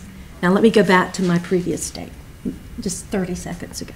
What I would hope for the students at Carver Heights is to enjoy some of the same changes that are in the YouTube video that we, I'm sure that each one of us, each board member has had a chance, and unfortunately, those in the audience did not have that opportunity to see that video. But it brought tears to my eyes when I opened the YouTube a week ago and watched it in my family room. I live within 10 minutes, 10 miles of the school.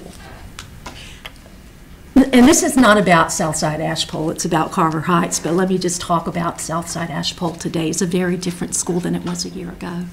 It is almost like a school that's not, it, perhaps not even um, geographically aligned with the public schools of Robeson County. It's a different place. It's truly a different place. And while we don't have the test results yet, you can walk in a school and know that good things are going on by walking in the lobby or walking in the office or go- going in the cafeteria, talking to teachers, talking to the teacher assistants, and spending time with, with the staff. And you, you feel something new and different and vibrant is happening in the school. That's what I wish for this school, for the students at Carver Heights Elementary. And I think it is a K-5 school or 3-5, I forget the 3-5. configuration. Kids, right? Okay, now, let me go to something a little bit more concrete. I'm looking at the PowerPoint frames beginning, uh, I think it's the number 11, and it goes through each of the schools.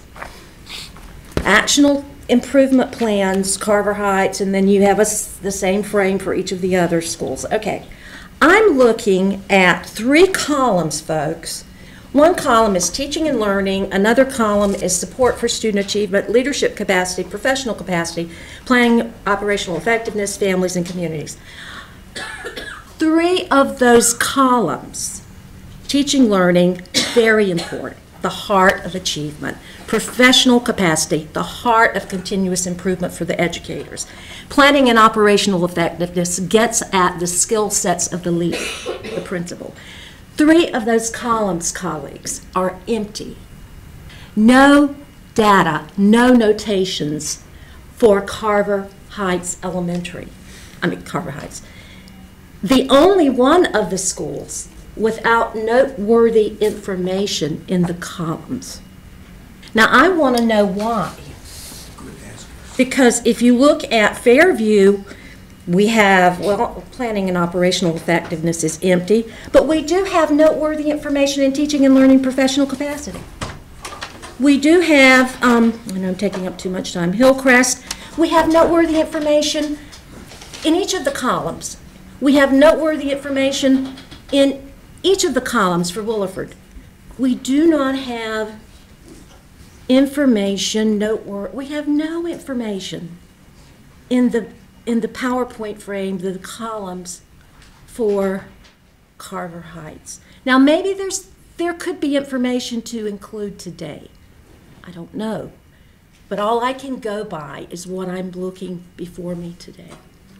Those are my comments. Mr. Buxton? Again, this is going to come to a question.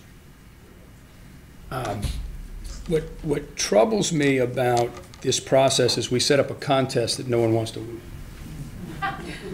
Rather than creating a scenario where districts are receiving supports that help them, schools in trouble. And so rather than competing for opportunities to get additional resources, coaching, and supports, we are, we are happy when we don't get named as one with the great intervention. So I think in a perfect scenario, and I'm not going to hold this department or anyone to a perfect scenario, we would have schools and districts needing support, and we be- we begin to push in, deepen our involvement as a department, send coaches, we might get to a point where we work with other partners, nonprofit and for-profit, school turnaround partners that might support this, and then we might get to a point where we say, nothing's working, we're going to send it to someone. And, and that to me makes sense, and I'm not opposed to places where charter operators schools. And let me be clear about that. What's, what I'm trying to figure out here then is, the operator becomes really important discussion. And if you go to slide, just so we can anchor this, 17, you've got four kind of key points about YCAR. I looked at the data, the disaggregated data that you sent, and with maybe one exception, we've got trends in all these schools. And we've got some significant cliffs that some of our schools are falling off, our kids in all schools. That's one. In the comprehensive needs assessment, as I read through those, I could make a pretty good argument for all these schools. And when I look at what Dr. Oxendine referenced, wi- with all due respect, the classic response of a low-performing school is to throw you 50 things that they're doing. And it's generally the biggest problem they have because there's no focus and no prioritization. So I, I don't, I, I still read into this, there are ideas here, but based on the data and the comprehensive needs assessments, we've got four, six places that need a lot of support. So what I'm left with, and this is my question, is if I've got six places, you give us four places that all could use support plausibly, then the operator decision becomes critical. Because Some of these would be better with UNC Charlotte as the operator, some, not literally because of location, but some of these would be better with a charter operator, depending on the quality of the operator. Someone would be better with the district or some similarly situated partner as the operator. I might pick a different school depending on the operator that we think is in play. And so I'd like to understand where we are on the operator, because I think, given what's happened in uh, Wayne County, that, that Mr. Duncan, there are reasons why a charter operator becomes difficult with a principal who's coming and others. So I just, help me understand what are some of our choices. So you're speaking to my passion, and this goes back to the original vision of where we wanted to see the ISD go, is that How do we have multiple options around what an operator could be? Because the good news is, is our legislation did give us pretty broad range by referring to it as an entity. It doesn't say it has to be a CMO, an EMO, or any particular operator model. Uh, we are working right now with the General Assembly while they are in session to look at other innovative options that we can try to embed. Because I agree with you. I mean, context is important. Resources are important. Capacity is important. And if we can look at ways that we can design, going back to why we even went to trying to change the name from what it was to being the innovative school district, was trying to think outside the box and make it based on the context of what's happening in that community, in that school, in that district, and really empower the things that are strong and build on the momentum that we can take forward to do the best thing for students. Back to, you know, Vice Chairman Duncan's point. We are trying to make sure that we make a, you know, a decision based on the best interest of kids. We wrestle with that quite often when we get to this point because we do want to see a school, and in this case, we have Wayne County. They've taken great steps since the recommendation has been entered. Again, I appreciate that. Of course, we're stuck now between the situation of how do we not lose the momentum that's taking place in that school right now, enabling that momentum to continue, and look at how does that come back to an operator model that makes the most sense for the context of Wayne County, and be able to build some partnerships that go back again to our original values. How do we partner to create the right conditions, or in this case, innovative conditions for the changes we want long term? So I think this is part of the body of work that we have to continue to build, to your point, Mr. Buxton. But I think you also find from the department, the team that's in place doing this work, we're committed to those same ideas and trying to see how do we bridge that work between what the ISD can do, what we can do with ESSA now and some of the new flexibilities afforded, and some of the investments that we can make in competitive grants long-term for some of our CSI schools, and even bridging that to some of the regional work that, you know, Dr. Petrie Martin and her team's going to be doing on the local level to provide those type of localized supports. Did I answer your question in a very broad way? In a very broad way. So, Dr. Hall, for clarity, Yes, ma'am. the wording of the statute, can an individual LEA apply to be an operator as the law is currently written? It would be very, very difficult without some adjustments or amendments to the law. And I don't want to speak for, for counsel, but I think there are some potential barriers. And we've entered some requests to the General Assembly to provide for some technical corrections that would afford the kind of flexibility that would be needed to ensure something like this. Because you get into some very complicated models, correct? I mean, in one case, if you have the LEA locally serving as the operator, you know, based on the way the statute is written now, you have to look at some of the employment relationships. You've got to look at what do you do with some of the services that an LEA would provide. You know, there's just some things that, that become some nuances that we would want to get clarity in the technical corrections that have been submitted. So. Mr. A little McDevitt? More specificity on that. I know you don't want to do this, but I'm going to ask you.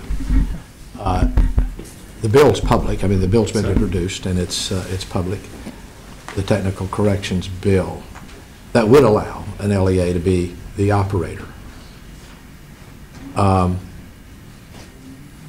Help me through the sequential order then relative to the decision we're, we're faced with right now and how, uh, how that would happen.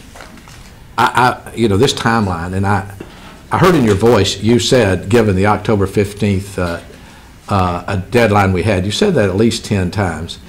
And uh, so I don't want to read anything uh, in there that you didn't mean to say, but I heard you say clearly that that's an aggressive timeline from six weeks to do all the analysis and deadlines and all the research and Matt, Sure, Matt, jump I- in, yes. I'm going to just say one other thing. I believe Wayne County during that time also missed about, I don't know, 10 days of school because of the hurricane.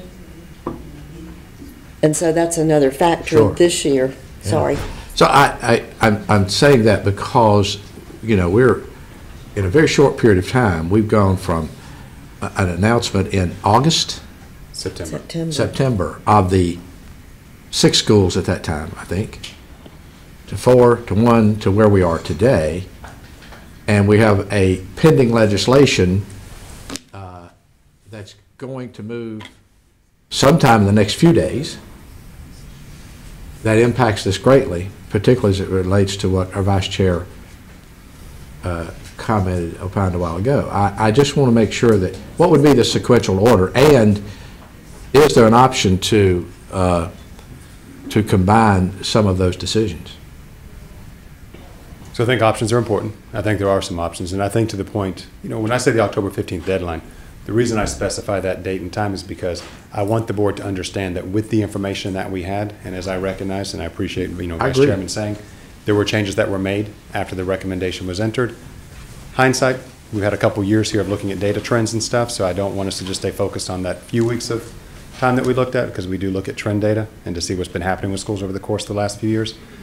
Um, So I don't want to lose sight of that point, but I think to your question more specifically around timeline and where do we go from here, we obviously need to see how the General Assembly takes up the technical corrections that have been considered, and would ask, you know, any and all support to try to move those forward where we can. The way the statute reads right now is that the decision is by December 15th for the State Board of Education to make a decision on the selection or not of the school.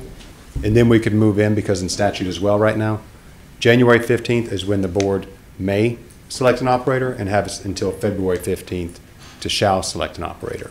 And so the operator selection piece does not happen still for a little bit. We have some time. Not a lot of time, but we have some time. But uh, then I, I think I hear you saying that we cannot, there's not an option to combine the two decisions. Because we have a December 15th deadline to I choose understand your question more specifically now. You're saying being able to make a decision on the selection and the operator selection at the same time? Yes. Probably not the way the process stands right now, because I think part of the process that we would want to see, back to Mr. Buxton's point, is understanding, okay, if a selection's made based on the criteria, that selection's made, and we would want to see, you know, how does the plan match up with what we would want to see for a school in comparison to other operators, and make sure that, again, we're making the right match. And in this case, if it's the local board, we would want to support that and move that, that process forward and not lose any time for the rest of this year, since work's already taken place. But uh, as it stands now, I don't see a way, unless the General Assembly makes a change between now and before December 15th, that's final, could a decision be merged one and the same? Ma- Madam Chair, just to clarify some, since you referenced, I want to be clear. What I'm saying is, I think the selection of the school and the type of operator go hand in hand. Yeah. Versus you selecting a school and then we'll kind of see which operator. There are schools here that I would say would be better for a charter operator than others. And vice versa. So I, I think it's the context, as you named. it. I just want to be clear. That's, I that's. appreciate that clarity. And, and just for a point of clarification, um, last year during the operator selection process, we took those applicants and allowed an outside entity to evaluate, um, the potential effectiveness.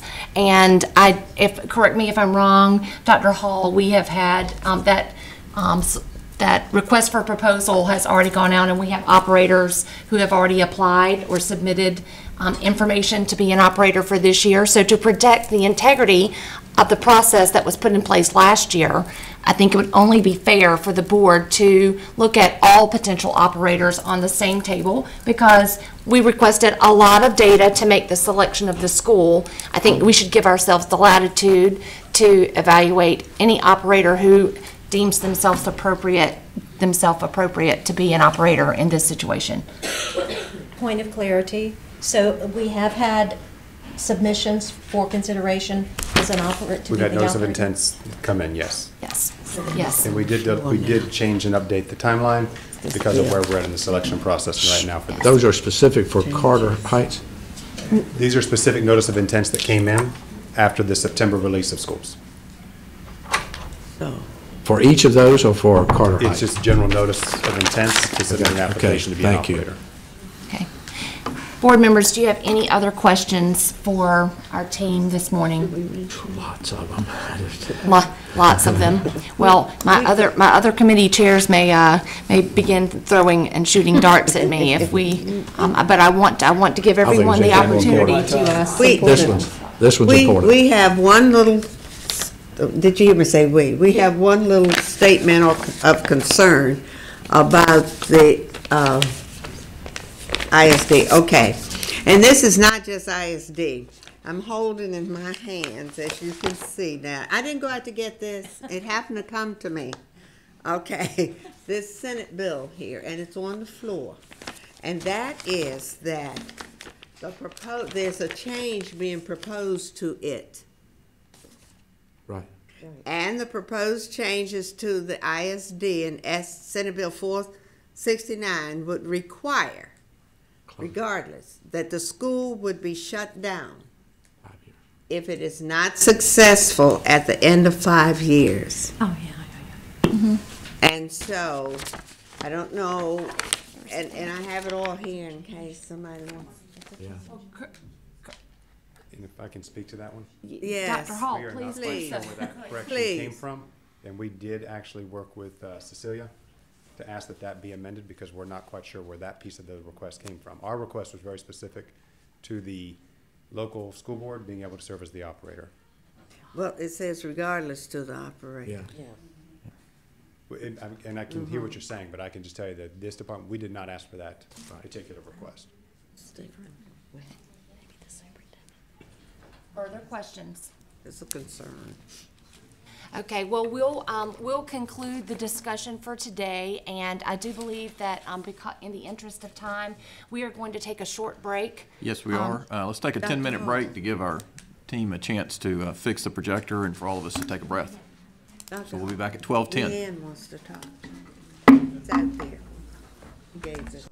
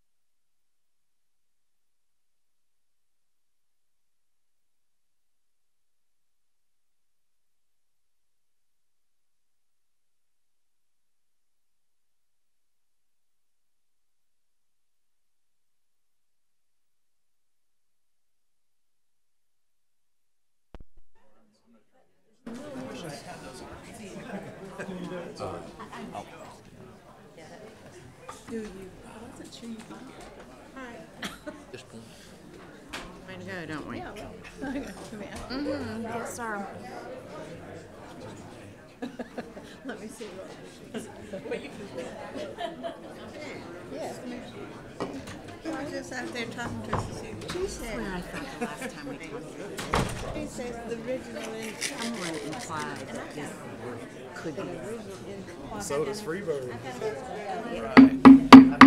Someone already in there. All right, please take your seats. We are uh, back in session. Uh, Given that the hour is 12:15 and by our schedule, we should, we are just a tad behind. So we we are, we are going to uh, adapt our schedule slightly in that um, for lunch, uh, we'll take about a 20-minute break, have a chance to go get lunch, bring it back in, and then we're going to turn lunch into a working session in order to keep moving forward. And that also gives our audience and staff a chance to go grab something, bring it back, however you can. But we're going to need to uh, press on through uh, some of that lunch period. Um, And then I'd ask for all presenters and, and us colleagues to be mindful of the schedule that we're on, and let's have a good, healthy discussion like we just concluded, but let's, uh, let's pick up the pace a bit in order to finish before midnight.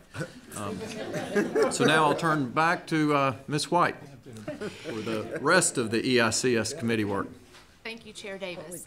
Uh, We have before us EICS five, and this is the approval of the application timeline process for the charter school program grant. And um, Dr. Dave Machado, Mr. Dave Machado is going to be before us um, explaining that process.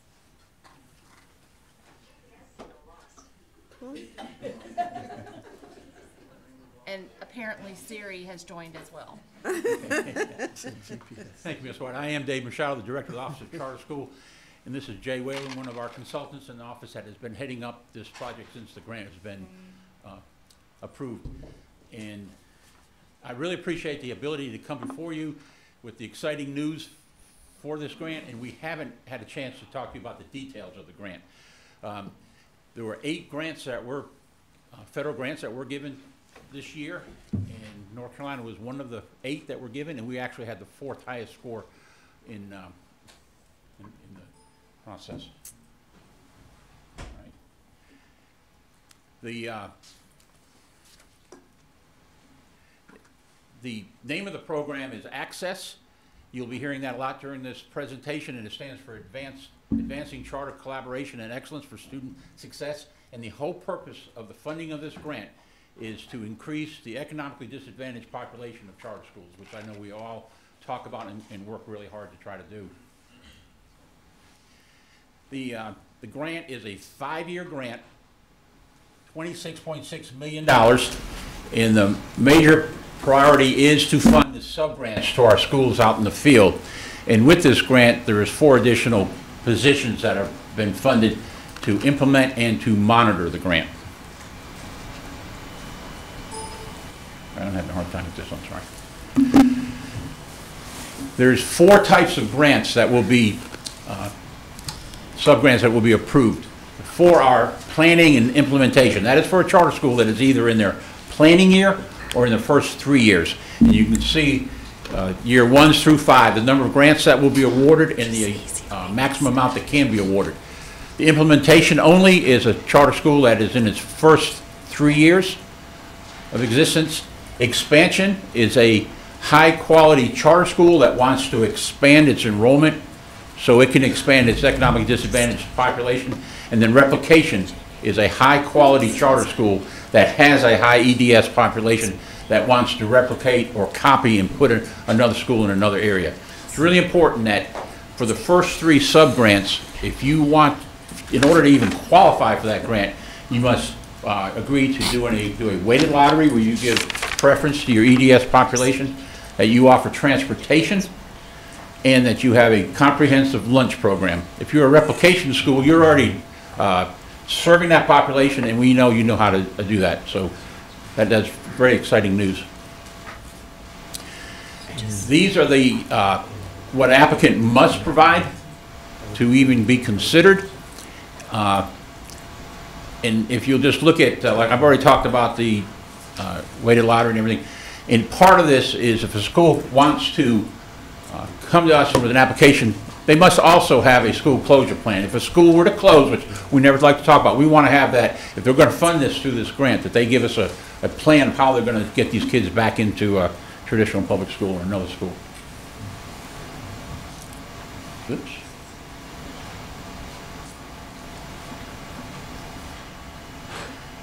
Okay, if, uh, if you want to expand or replicate, again, you must have data showing that you have been a high-quality charter school. And a high-quality charter school is a school that has a comprehensive score, proficiency score of an A or a B, and has met or exceeded growth two of the last three years.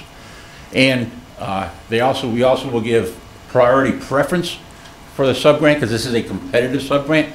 If you are currently serving an ED, high DEDS population, you're a Title I school, your graduation rate is higher than the state average, uh, or you, um, and your subgroup data is above state level, you will get extra points for, uh, for, in your application. I want to quickly talk about the North Carolina Access Fellows Program. This is a, this is a feature of this grant that was put into the grant. And when we were approved, the person from the Department of Education uh, called me and said, I specifically asked to be your consultant for North Carolina because of this uh, fellows program. And we feel like this fellows program is going to do a great job as far as sharing best practices, not only amongst this group, but amongst the charter school community and throughout the traditional public school uh, spectrum too. It is, it is a very high-intense professional development program where at the end of the five years, we have, we'll have created a community of 100 charter school leaders that have demonstrated and have developed best practices, again, that we can share in the community. The Fellows Program will consist of a four-day Fellows Institute in the fall. We're talking to NCAT and Cullowhee right now about hosting that for us. A two-day Policy Summit in the spring. Uh, 12 PLC meetings, four in person, eight virtual. Every one of our Fellows Program, the Fellows, people that are qualified for the Fellows Program will be the leaders of the schools, obviously, that get this grant.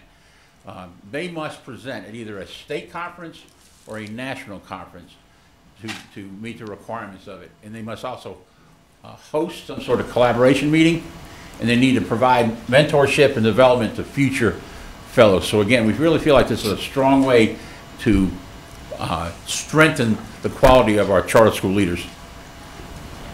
The timeline which we're asking that you will uh, approve, in January of uh, 15 is when we're asking for the uh, request for applications to be posted on our website. January through March, our access team will be uh, doing trainings with our schools interested in the, in the grant, very similar to what we do in uh, during the charter school new application processes, where we hold uh, trainings throughout the state. By February 15th, we need our, the letters of intent, and by March 31st, all applications are due. April through May, we'll be reviewing the uh, applications, and then our office and the team will make a recommendation to s- Charter School Advisory Board. The ch- the Charter School Advisory Board will then make a recommendation to you, the State Board of Ed, and on your June meeting, we're going to ask that you approve the sub-grant awards. And then in July, we'll do uh, orientation for the people that have been approved and uh, start dispersing money in July. And it, in August will be the end of the period. And we will do that again every year. That is the timeline that we hope to uh, keep.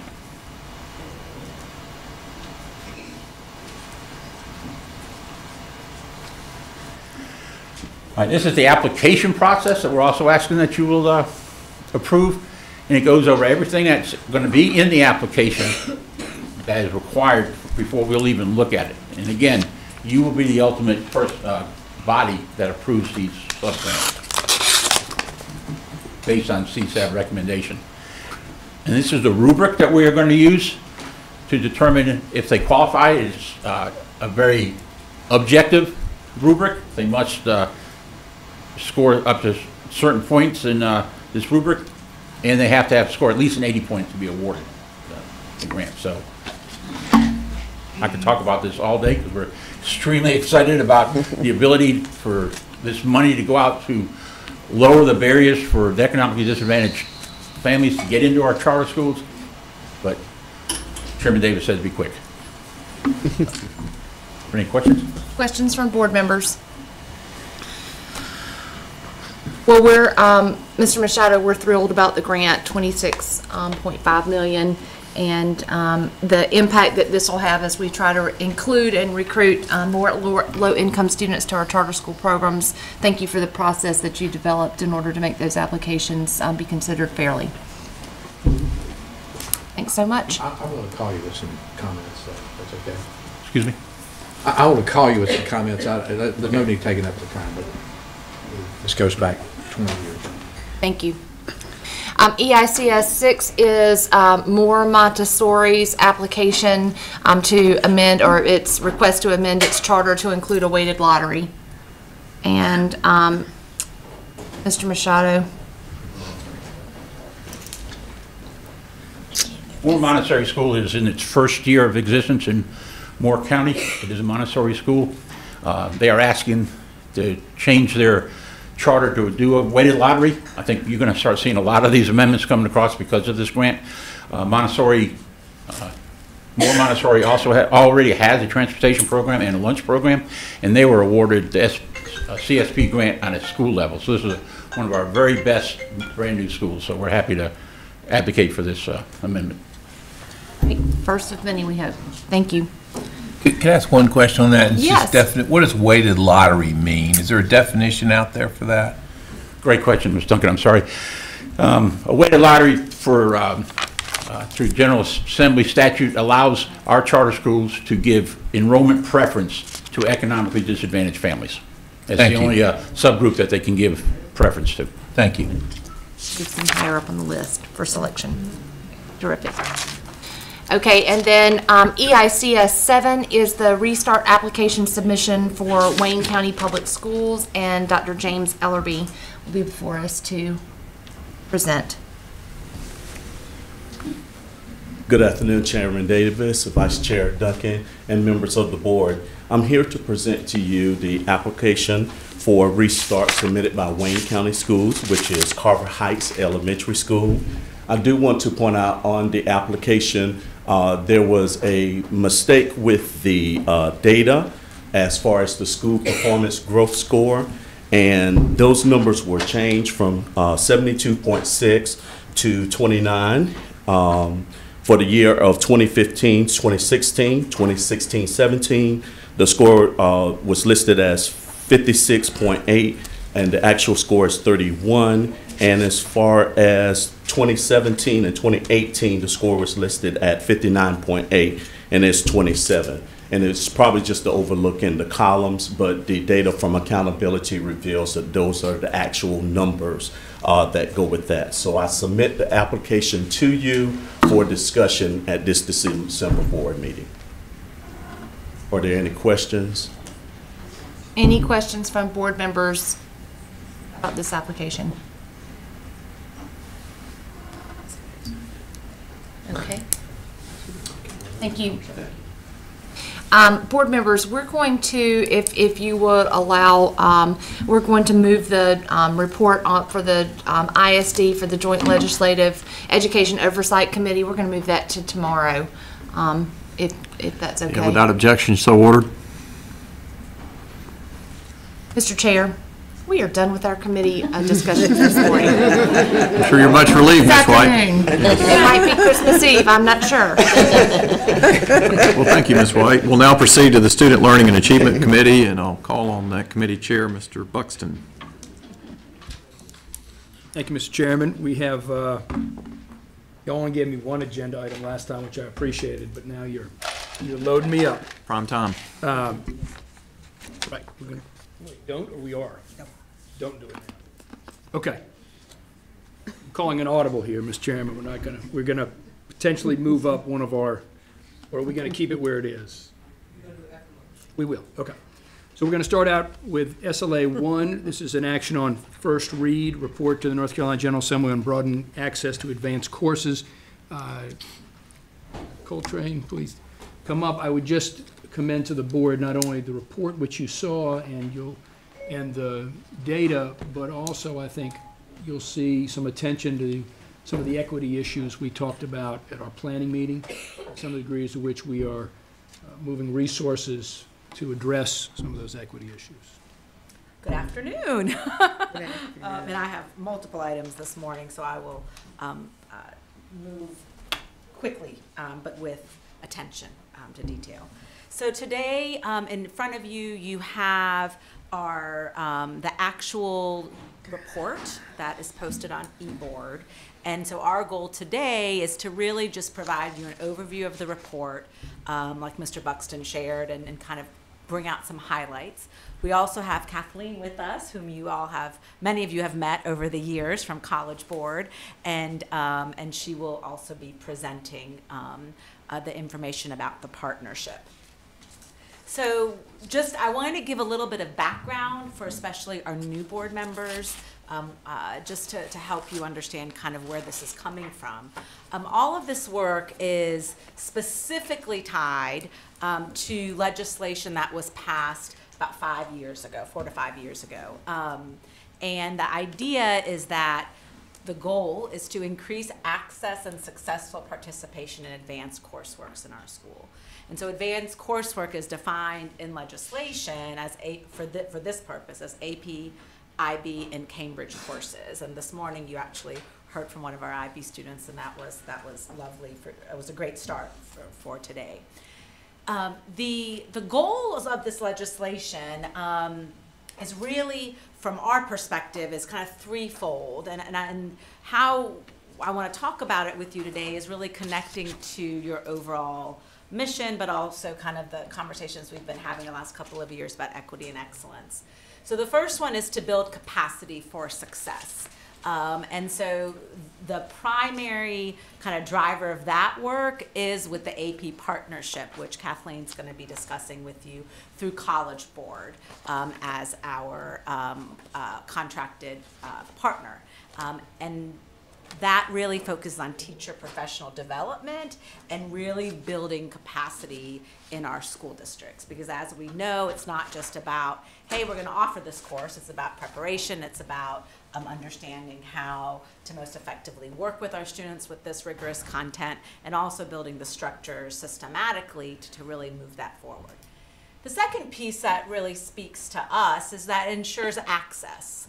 So prior to this legislation, we did have access for our low-income students when it comes came to funding for the test, because the tests do, on average, if you were to look, it's about a hundred bucks, give or take.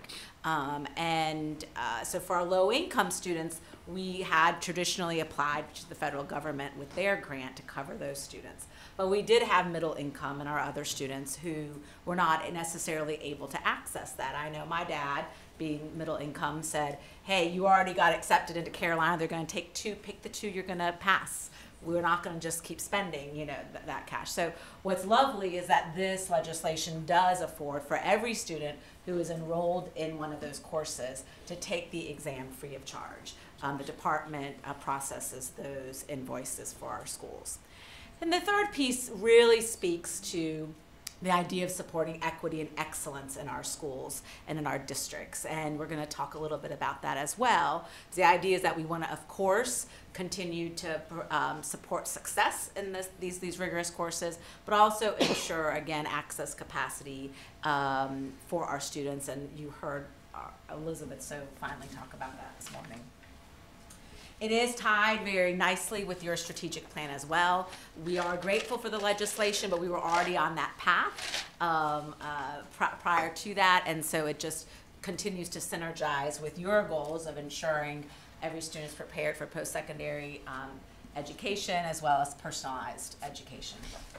Um, so just briefly to talk about the partnership, there is targeted district support through the contract where we work with, where College Board works with low performing districts um, in, in different areas. They help provide technical assistance. Kathleen's going to go through this deeply with you.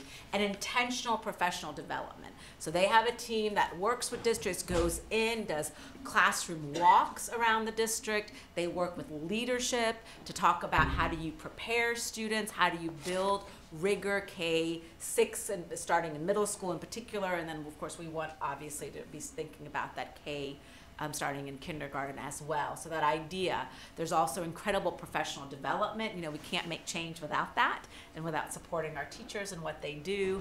And so Kathleen will talk a little bit about that with you. Then the other piece that we really felt was very important with this legislation and with this contract was really then to do statewide support because it's not just about our low performing districts, but across the state, um, we had needs. And so one of the key pieces that we've worked in, and we're probably really unique in that across the country, um, is that we want to provide opportunities for every district. And so we do statewide professional development as well. Um, College Board does, as well as offering mentorship programs to help teachers who may be a beginning teacher or maybe not used to in, in AP, as well as institute trainings for every school district um, around uh, in our state. And so that's very that we're seeing great support. Um, and this past year, we actually got an increase from 1.5 to 2.15 million for that contract. So we continue to build that work. Just to let, let you know, um, in the report, we report how we've this past year um, spent over $14 million for these test fees. Um, that's an interesting day when I sign that invoice for finance. Every now and then, I'm always uh, stunned by that. Uh, but, but needless to say, it's such a great service. We get notes from families. Um, of course, I always refer them to the General Assembly to thank as well, but we, we do get a lot of families and students who say what a great difference this makes for them to be able to, to not have this to be a burden um, for our um, students uh, and, and their families. And you know, our state does a great job with that, with Career and College Promise as well, with access and dual enrollment. And so it's just incredible to see, to see the support we give for all the opportunities for our students to really access college level work um, while in high school. Then the key other piece that we've been working on is really increasing course availability Kathleen in particular, and as well as Beth, who is part of our team here um, at DPI, in looking at AP and IB in Cambridge as well. How are we increasing courses locally, building that capacity? And then VPS, this is beautiful for me in this presentation, talked to you this morning with Elizabeth, but also with their report about how they also really provide a clear link to be um, to be able to provide opportunities for access for, for 19 actually of the more common v, um, AP courses. We also have the North Carolina School of Science and Math who has partnerships um, especially in some of our rural areas in really developing um, AP um, co-teaching opportunities um, as well as cope with actually more cohort approach which works well for, for some of our schools. So we have, um, we're build, continuing to build that infrastructure to ensure access um, in all ports, parts of our state that are not dependent on, on address. And then the equity and excellence piece. For those of you that have been with us the last several years, you've heard of some of the excellent um, work our teachers and students are doing in our schools. And so I do want to highlight this. Um, we continue, North Carolina, to outpace the nation when it comes, especially for our Hispanic students this past year, um, for participation and performance. Um, every uh, year previous, we also were that with our black exam takers, but this year we had a slight, um, uh, did not increase as much as we usually do. So with our Hispanic exam takers, this year we had 6.3 compared to the 4.5% increase.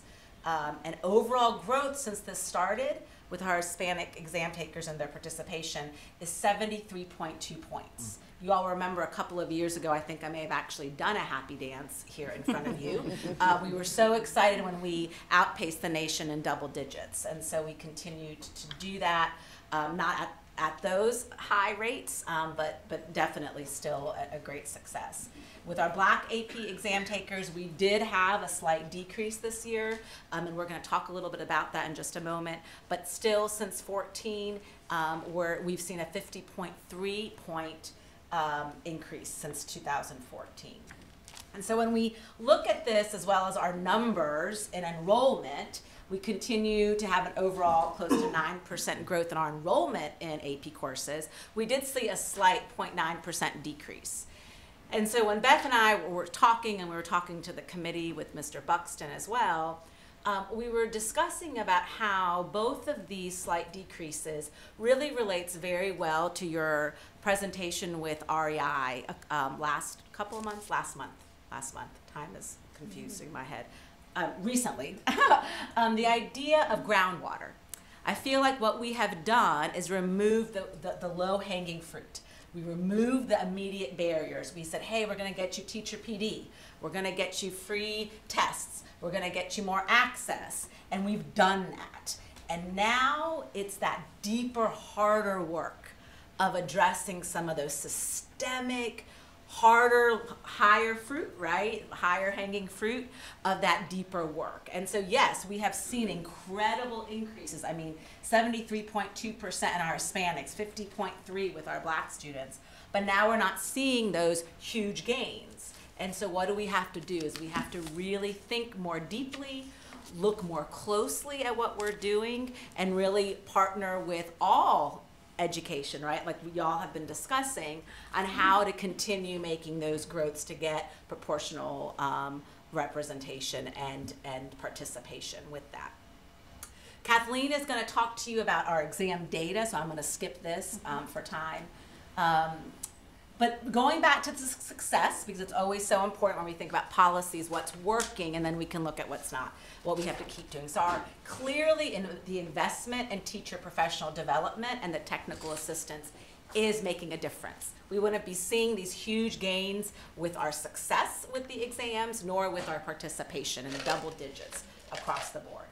The mindset shift, we're really moving towards that idea of of not about address, but really, okay, access, right? And really helping people think that, you know, remove the barriers. Um, I had one principal tell me, hey, you know, one district, we're just going to take off prereqs. Let's make sure if a kid is has some courses, but at the same time has the will, is motivated. Let's let's let's scaffold them and let's really begin supporting access and success in these pathways. And so, really helping that mindset shift and removing the barriers and giving scaffold and support and then synergizing. So these are the beginning of our the elements that i think are really making a huge difference. Where do we still need to go? We need to continue removing our low hanging barriers both at the state district and school level State-wise, policy-wise, y'all have done a ph phenomenal job with that. So now with district and school, how do we continue to remove those barriers? Um, mindset barriers as well as requirements, as well as other barriers. Being strategic, how do we program intentionally K-12 for rigor and really ensuring our students have access all along to be prepared for these opportunities. Keep increasing PD, technical assistance so we can look at data and we can build capacity. And with your leadership, really looking at the systemic groundwater issues. This is, you know, permeating through everything, and I love, I really appreciate that groundwater analogy they used. I've been using it, gosh, starting that next day with this, and it really has stuck with me as a great way to discuss it. And that's what it is: is how are we now going to really dig deeper um, and in this project in particular, because we have made such great progress. I turn over to Kathleen, who's going to dig a little deeper into the um, other data, and they're going to switch the, Okay. the thing for you. Please. Hi, everyone. Chairman Davis, Vice Chairman uh, Duncan, board members, thank you so much for your time today, just to celebrate the great work of our um, schools and districts. Um, my name is Kathleen Cook. I am the Senior Director for the North Carolina AP Partnership, and it's just a pleasure um, to, to be with you and share some of the great work um, of our teachers and our students and our district leaders um, in the state. So what you see here is a photo that was taken on May 30th here at the Capitol. It was our first annual AP Day at the Capitol. We brought over 140 superintendents, teachers, students, AP students to the Capitol, and they visited with our legislators um, and talked about the experiences they were having in their AP classrooms it was probably the best day of my professional career um, just because uh, to see students advocating for themselves and to see um, them empowered to do so in such articulate ways was just really inspiring uh, to me as i have I've been an educator my whole career. Um, I started uh, my educational journey as an AP teacher and so it just uh, it made me very happy. It was a great day. Um, so that work paid off, and we did get an increase to our appropriation this year, which we're very, very grateful for. And we're pouring every cent of that increase into uh, more teacher PD, uh, more opportunities for our students, and so I'll share some of those with you as we move forward today. So here's sort of an overview of um, the data as we've seen it grow throughout the um, lifetime of the partnership. We started things off in 2014. You'll see that big leap in the blue bars, the number of exams. Uh, that took the big leap in 2014 to 2015 because 2015 was the first year we paid, uh, the state paid for all exam fees and removed that financial burden. burden.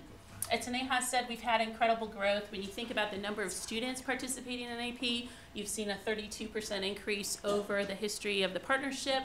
And my friends, that represents over 18,500 more kids this year uh, in AP than ever before. That's really exciting. Those are each number is a real kid, as you know, and so that makes makes me um, really proud for our districts.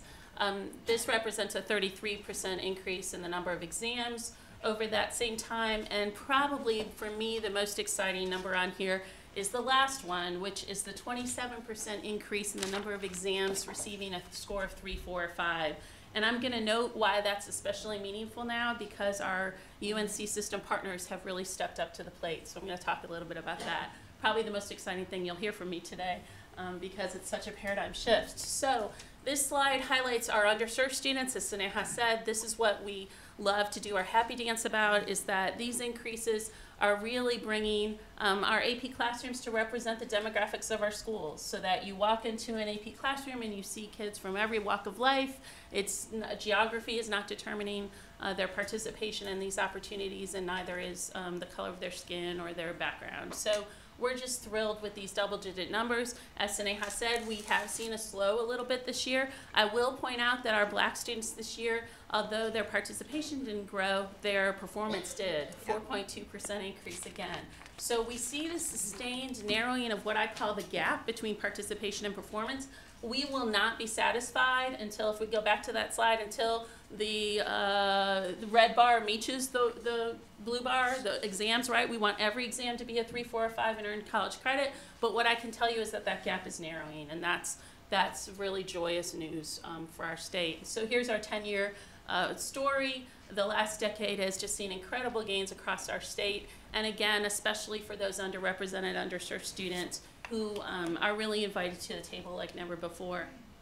So, um, Sneha said that I would share with you how we're making good use of these funds that we've been um, so blessed by our legislator to provide to our districts. So I've listed for you um, some of the PD that we bring to your districts. Uh, a lot of this is pretty, uh, you may not be self-evident what these things are, but I'm happy to take any questions and explain them further. Um, those things listed in bold are what we reserve for our 19 target districts, which I will show you a list of those in a moment. They tend to be more rural districts, uh, smaller districts, some of them a single feeder, feeder pattern, maybe one high school, uh, sometimes two middle schools. Um, uh, those districts we find have very similar challenges. Well, all our districts do. Um, but we bring them together at a central location every year um, to really have them work together to overcome these obstacles. And so you'll see that there was a district leadership colloquium this fall. It was in October. These are great events, guys. I can't tell you how wonderful it is to just hear um, all of our district leaders coming together to problem solve, to really create that pipeline intentionally. In the spring, we'll have a middle level colloquium where we'll bring middle school leaders together because we know that rigor certainly doesn't start when you hit ninth grade. You have to build that pipeline beforehand. And so we're working very intentionally with our leaders uh, to talk about strategies to do that. And then you'll see uh, there's something new this year that we're very excited about. We're going to uh, take some folks to the mountains in the spring. Um, we're calling it our Vertical Articulation Summit. And this is an idea of an off-site opportunity for our district leaders to come together and really strategize, to have the time to do that. We're thrilled that the Blumenthal Foundation has partnered with us and they're going to make Wildacres available to us. Some of you have been to that very special place on a mountaintop in Little Switzerland. It's a wonderful um, place to kind of step away and to really strategize. So we're excited about that new event for those districts. The other events listed are statewide. So as Sneha mentioned, it was really important when we formed this partnership that we serve all um, 100 and what are we at, 17 LEAs now um, across the state. And so we wanted to make sure that all of them could take advantage. So my main job is to be giving out uh, scholarships to all of these opportunities. So I would ask you, board members, if you're ever with the district and they don't know about these opportunities, this is free PD to them, no strings attached. They need to take advantage. Um, for the most part, most of our districts have found us and they do a great job. Um, I'm looking at Janet Mason and you know, Rutherford, they take advantage of every single opportunity we give them. Um, and so there are, there are many uh, districts like that, but there are some who I think we would still love to see participate a little bit more. Um, so we need your advocacy for that. The biggest thing I'll note on this slide is the AP Summer Institutes. Many of you know that's the five-day uh, opportunity for teachers to go, not just when they're new AP teachers, but we encourage them to go every few years just to kind of get their game uh, refreshed and to learn with colleagues. So here are our target districts uh, this year. This list has changed a little bit over time. We've had some districts who we started with four years ago who have really built such a strong internal capacity. They've sort of rolled off in a sense. Um, we still serve them. We call them now our tier two districts, but this is who we call our tier one. Um, you can see we are represented now across the state. We started out with a focus in mostly eastern North Carolina, but we've really moved, uh, brought on some districts from the mountains uh, in western North Carolina. But all of these districts have committed to participating in our PD. They've committed to um, sending representatives to those uh, opportunities that I mentioned, and they're uh, making great gains. We also work, of course, closely with them one on one. We go in, we do walkthroughs with them, we meet with their leadership teams, we talk about data, do data dives, all of those good things to really get um, great conversation going. Um, I want to lift out two of those districts, Lexington City Schools and Yancey County Schools. Um, Yancey especially because it's their second year in a row. Uh, they've just been recognized, guys. The, the official announcement, it's actually embargoed until tomorrow.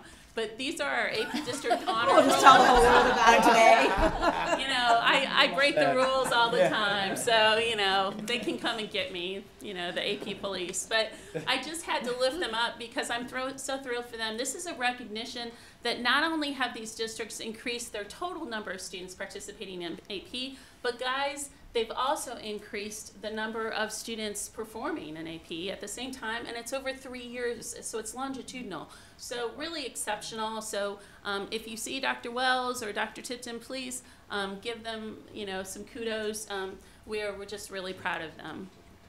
Uh, all right, so I'm, I sort of foreshadowed this, and I'm not going to take up a whole lot of time, but I wanted to let you know that a lot of us, as we've been doing this work over the past four years in North Carolina, have said, this is great, but then what happens? Do our kids actually get credit at the university level for those scores? And this seems like a really big boulder to move. I remember conversations just a couple years ago when it seemed like this university system, we just weren't going to be able to make this thing happen. And guys, something happened. I don't know. Some magic water got drank. I don't know. But we are thrilled to report that on July 27th, the UNC Board of Governors voted unanimously to pass an AP credit policy in North Carolina. What this means is that on, in all 17 campuses of the UNC system, they will now award students with credit for three, four, or five um, on their AP exams. And yeah, cheer, right? I mean, this is a really big deal. So this is credit that our students have earned. We're so excited that they're being recognized for it. I am not a representative from the UNC system, so I'm not going to pretend to know everything about this policy, but we, uh, in the College Board, we have a higher ed division, and my colleagues in that division have worked very closely with the UNC system. They are writing the policy as we speak. I have the policy section number here for you.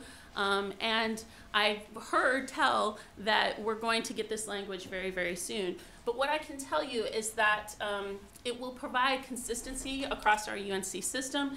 It will certainly allow more of our students to get credit. And so we worked, uh, as we worked through this endeavor with the system office, one of the things they asked us for um, they had their rationale, which is up on the screen. This does a lot of great things for them. It really takes them toward their strategic goal in so many ways. But they wanted, of course, this to be evidence based. And so we did provide them with some evidence. So I have um, some of that evidence here for you. Just if you or your constituents ask you why this happened, I want you to be able to articulate why that was. And so I'm just going to quickly run through um, some of this evidence. But the, the most basic is probably the thing that all of us think about. This saves real money for our families, right, across North Carolina. So it reduces the tuition costs, it improves pathways to degree completion, which is what the UNC System Office is, is very invested in as well. It addresses what they call their equity imperative, right? And you're going to see that on this data that I share in the following slides. So this first slide is actually from a College Board report. And we use this all the time because this is good news for all of our AP test takers. It tells us that no matter what a student scores on the AP exam, they are going to be closer to completing their degree in four year, right? So this is about outcomes. So earning AP credits before enrolling in college is correlated with student success in college. Uh, that's probably not a big surprise to many of you, right? Um, but some of these following slides are pretty amazing. So we went ahead and, and really dug in and looked at, well, if we look at students from rural counties, how would a policy like this affect them? And what we found was that students from rural counties in North Carolina could receive up to 46% more course credit with this policy in place. 46%, you guys. Think about the cost savings for our families. It's just incredible. Um, we looked at uh, those low income students. Again, a very comparable number. Again, 46% more courses uh, for families. Um, earning 60000 a year or less. And finally, our Hispanic and our um, African American students, we found for African Americans, uh, likely over 50%, and the statistic 52%, uh, more students will be eligible to receive college credit, and for Hispanic students, 42%. So again, this is projected data, but it's it's compelling, right? And it tells us, and it told the university system, there really is a need here. And so I'm just very grateful that they've stepped up um, to respond to this need. And then finally, our, our community college system, I know there are some friends in the house from this system, um, they've said, well, we want to join the party. So we are working closely with them so that they will do the same as well and make sure that their policies are transparent toward credit for a 3 plus. So guys, all I can say is it really completes a circle that we've been wanting to close for a long time. And so we're really excited about that.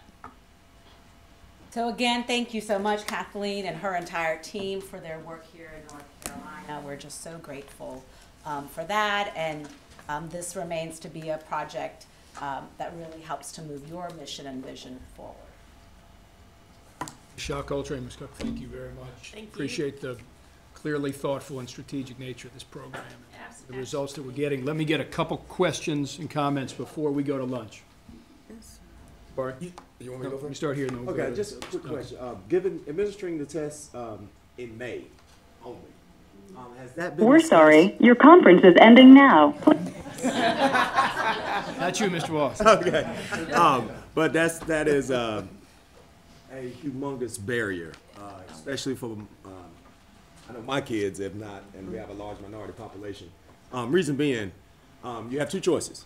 You can either take it in the, uh, fall semester and then hope you remember what you were taught to, to take the test in May, or you can take it in the spring semester and then your semester is cut 30 days short, well, 20 days short. Correct. Um, and then you can give it year long, and that pushes kids away because now they've given up an elective or something else they could have had for the second semester. So I, that, that's just one huge barrier in my area. The reason why they don't. So this is why the department and College Board really encourages year-long courses.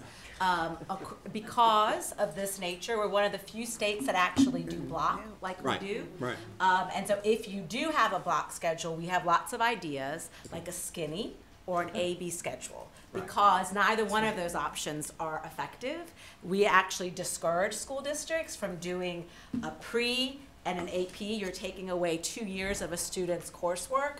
That is not something we we feel good about. We actually discourage it strongly, um, and I'm happy to. That's why I wanted to be the one to say we discourage it strongly out to everybody who's listening, um, and that there are ways even within the block to do a year long with a skinny or an AB, but ideally um, across the year, so that way it is in May and a student is better prepared. So that's not possible to No, administer the it more College than Board one. will not be doing that. Partly due to all of the individualized readings that they do with Right. hundreds of thousands of tests coming in. Also, it's, it's, we're one of the few states that even has that. So it doesn't meet any of their, of their needs there. Mr. Duncan? This is a, actually a data question. I know many years ago now, and I'm thinking these, this class is filtering about to where they graduate. We changed the kindergarten age, starting from October fifteenth back to September first, and that class was smaller. Correspondent, what year does that class graduate? Um, so that class is actually my daughter's class, who's in ninth grade this year. Okay. So it'll be in a few years. So Which that's, is why percentages is kind of what I like to always work with, for that really good yeah, reason. okay. But that's a good thing to keep in mind Yeah. for our data as we look forward. Absolutely. And, and as a fun historical fact, the legislative leader in that legislation may be on the phone, Treasurer Folwell. Oh, Yes. Um, Uh, Just a quick comment on the Devin. tracking. Uh, uh, it- It'd be interesting to continue to track issues that perhaps don't elevate. For example, uh, participation, on participation, uh, uh, early childhood education, uh, implementation of whole child, some of those kinds of things that might not be the obvious things to track. But uh, I think if, uh, if that foundation is there in those early years, uh, how many times am I going to quote Tricia on this? But, uh, uh, As the, many uh, as you want. That's, uh, it, those are critical factors later on, and I think you'll find that the same folks that are exposed to those kinds of opportunities will be participating in in the, uh, AP. Any other questions? Yeah, Dr. Mason? It's just regarding the um, equalization of the community college courses with the AP regarding GPA and how you are seeing that or not seeing that um, really affect students' motivation to take the courses or, or choosing one over the other. Sure. So what we're hearing um, across the, from several school districts is that it is providing a lot more opportunities for sure for students to think about other kind of courses that they could take. Um, we're also hearing um, that in some places, which could be a factor for our AP numbers this this year with enrollment, is that it is um, possibly leaning more towards the community college side than the AP. So we are hearing lots of different things. What we encourage our school districts and our high schools to do is to really look at a plan of a student study, really looking at um, their post-secondary experiences, how to ensure the most effective route. Um, I think the, this UNC policy will also help, and that is guaranteed credit. It used to depend per institution. Um, and so I, I I hope that will also help to help look at opportunities on equal footing. But it is a concern that we are hearing, Dr. Mason. Any questions? One comment I'd make is, to the degree that we're in these discussions with the university, the more we can push for some clarity on general education course credit versus just elective course credit. Elective course credit is nice, but it doesn't drive down costs for students as much and allow them to get moving.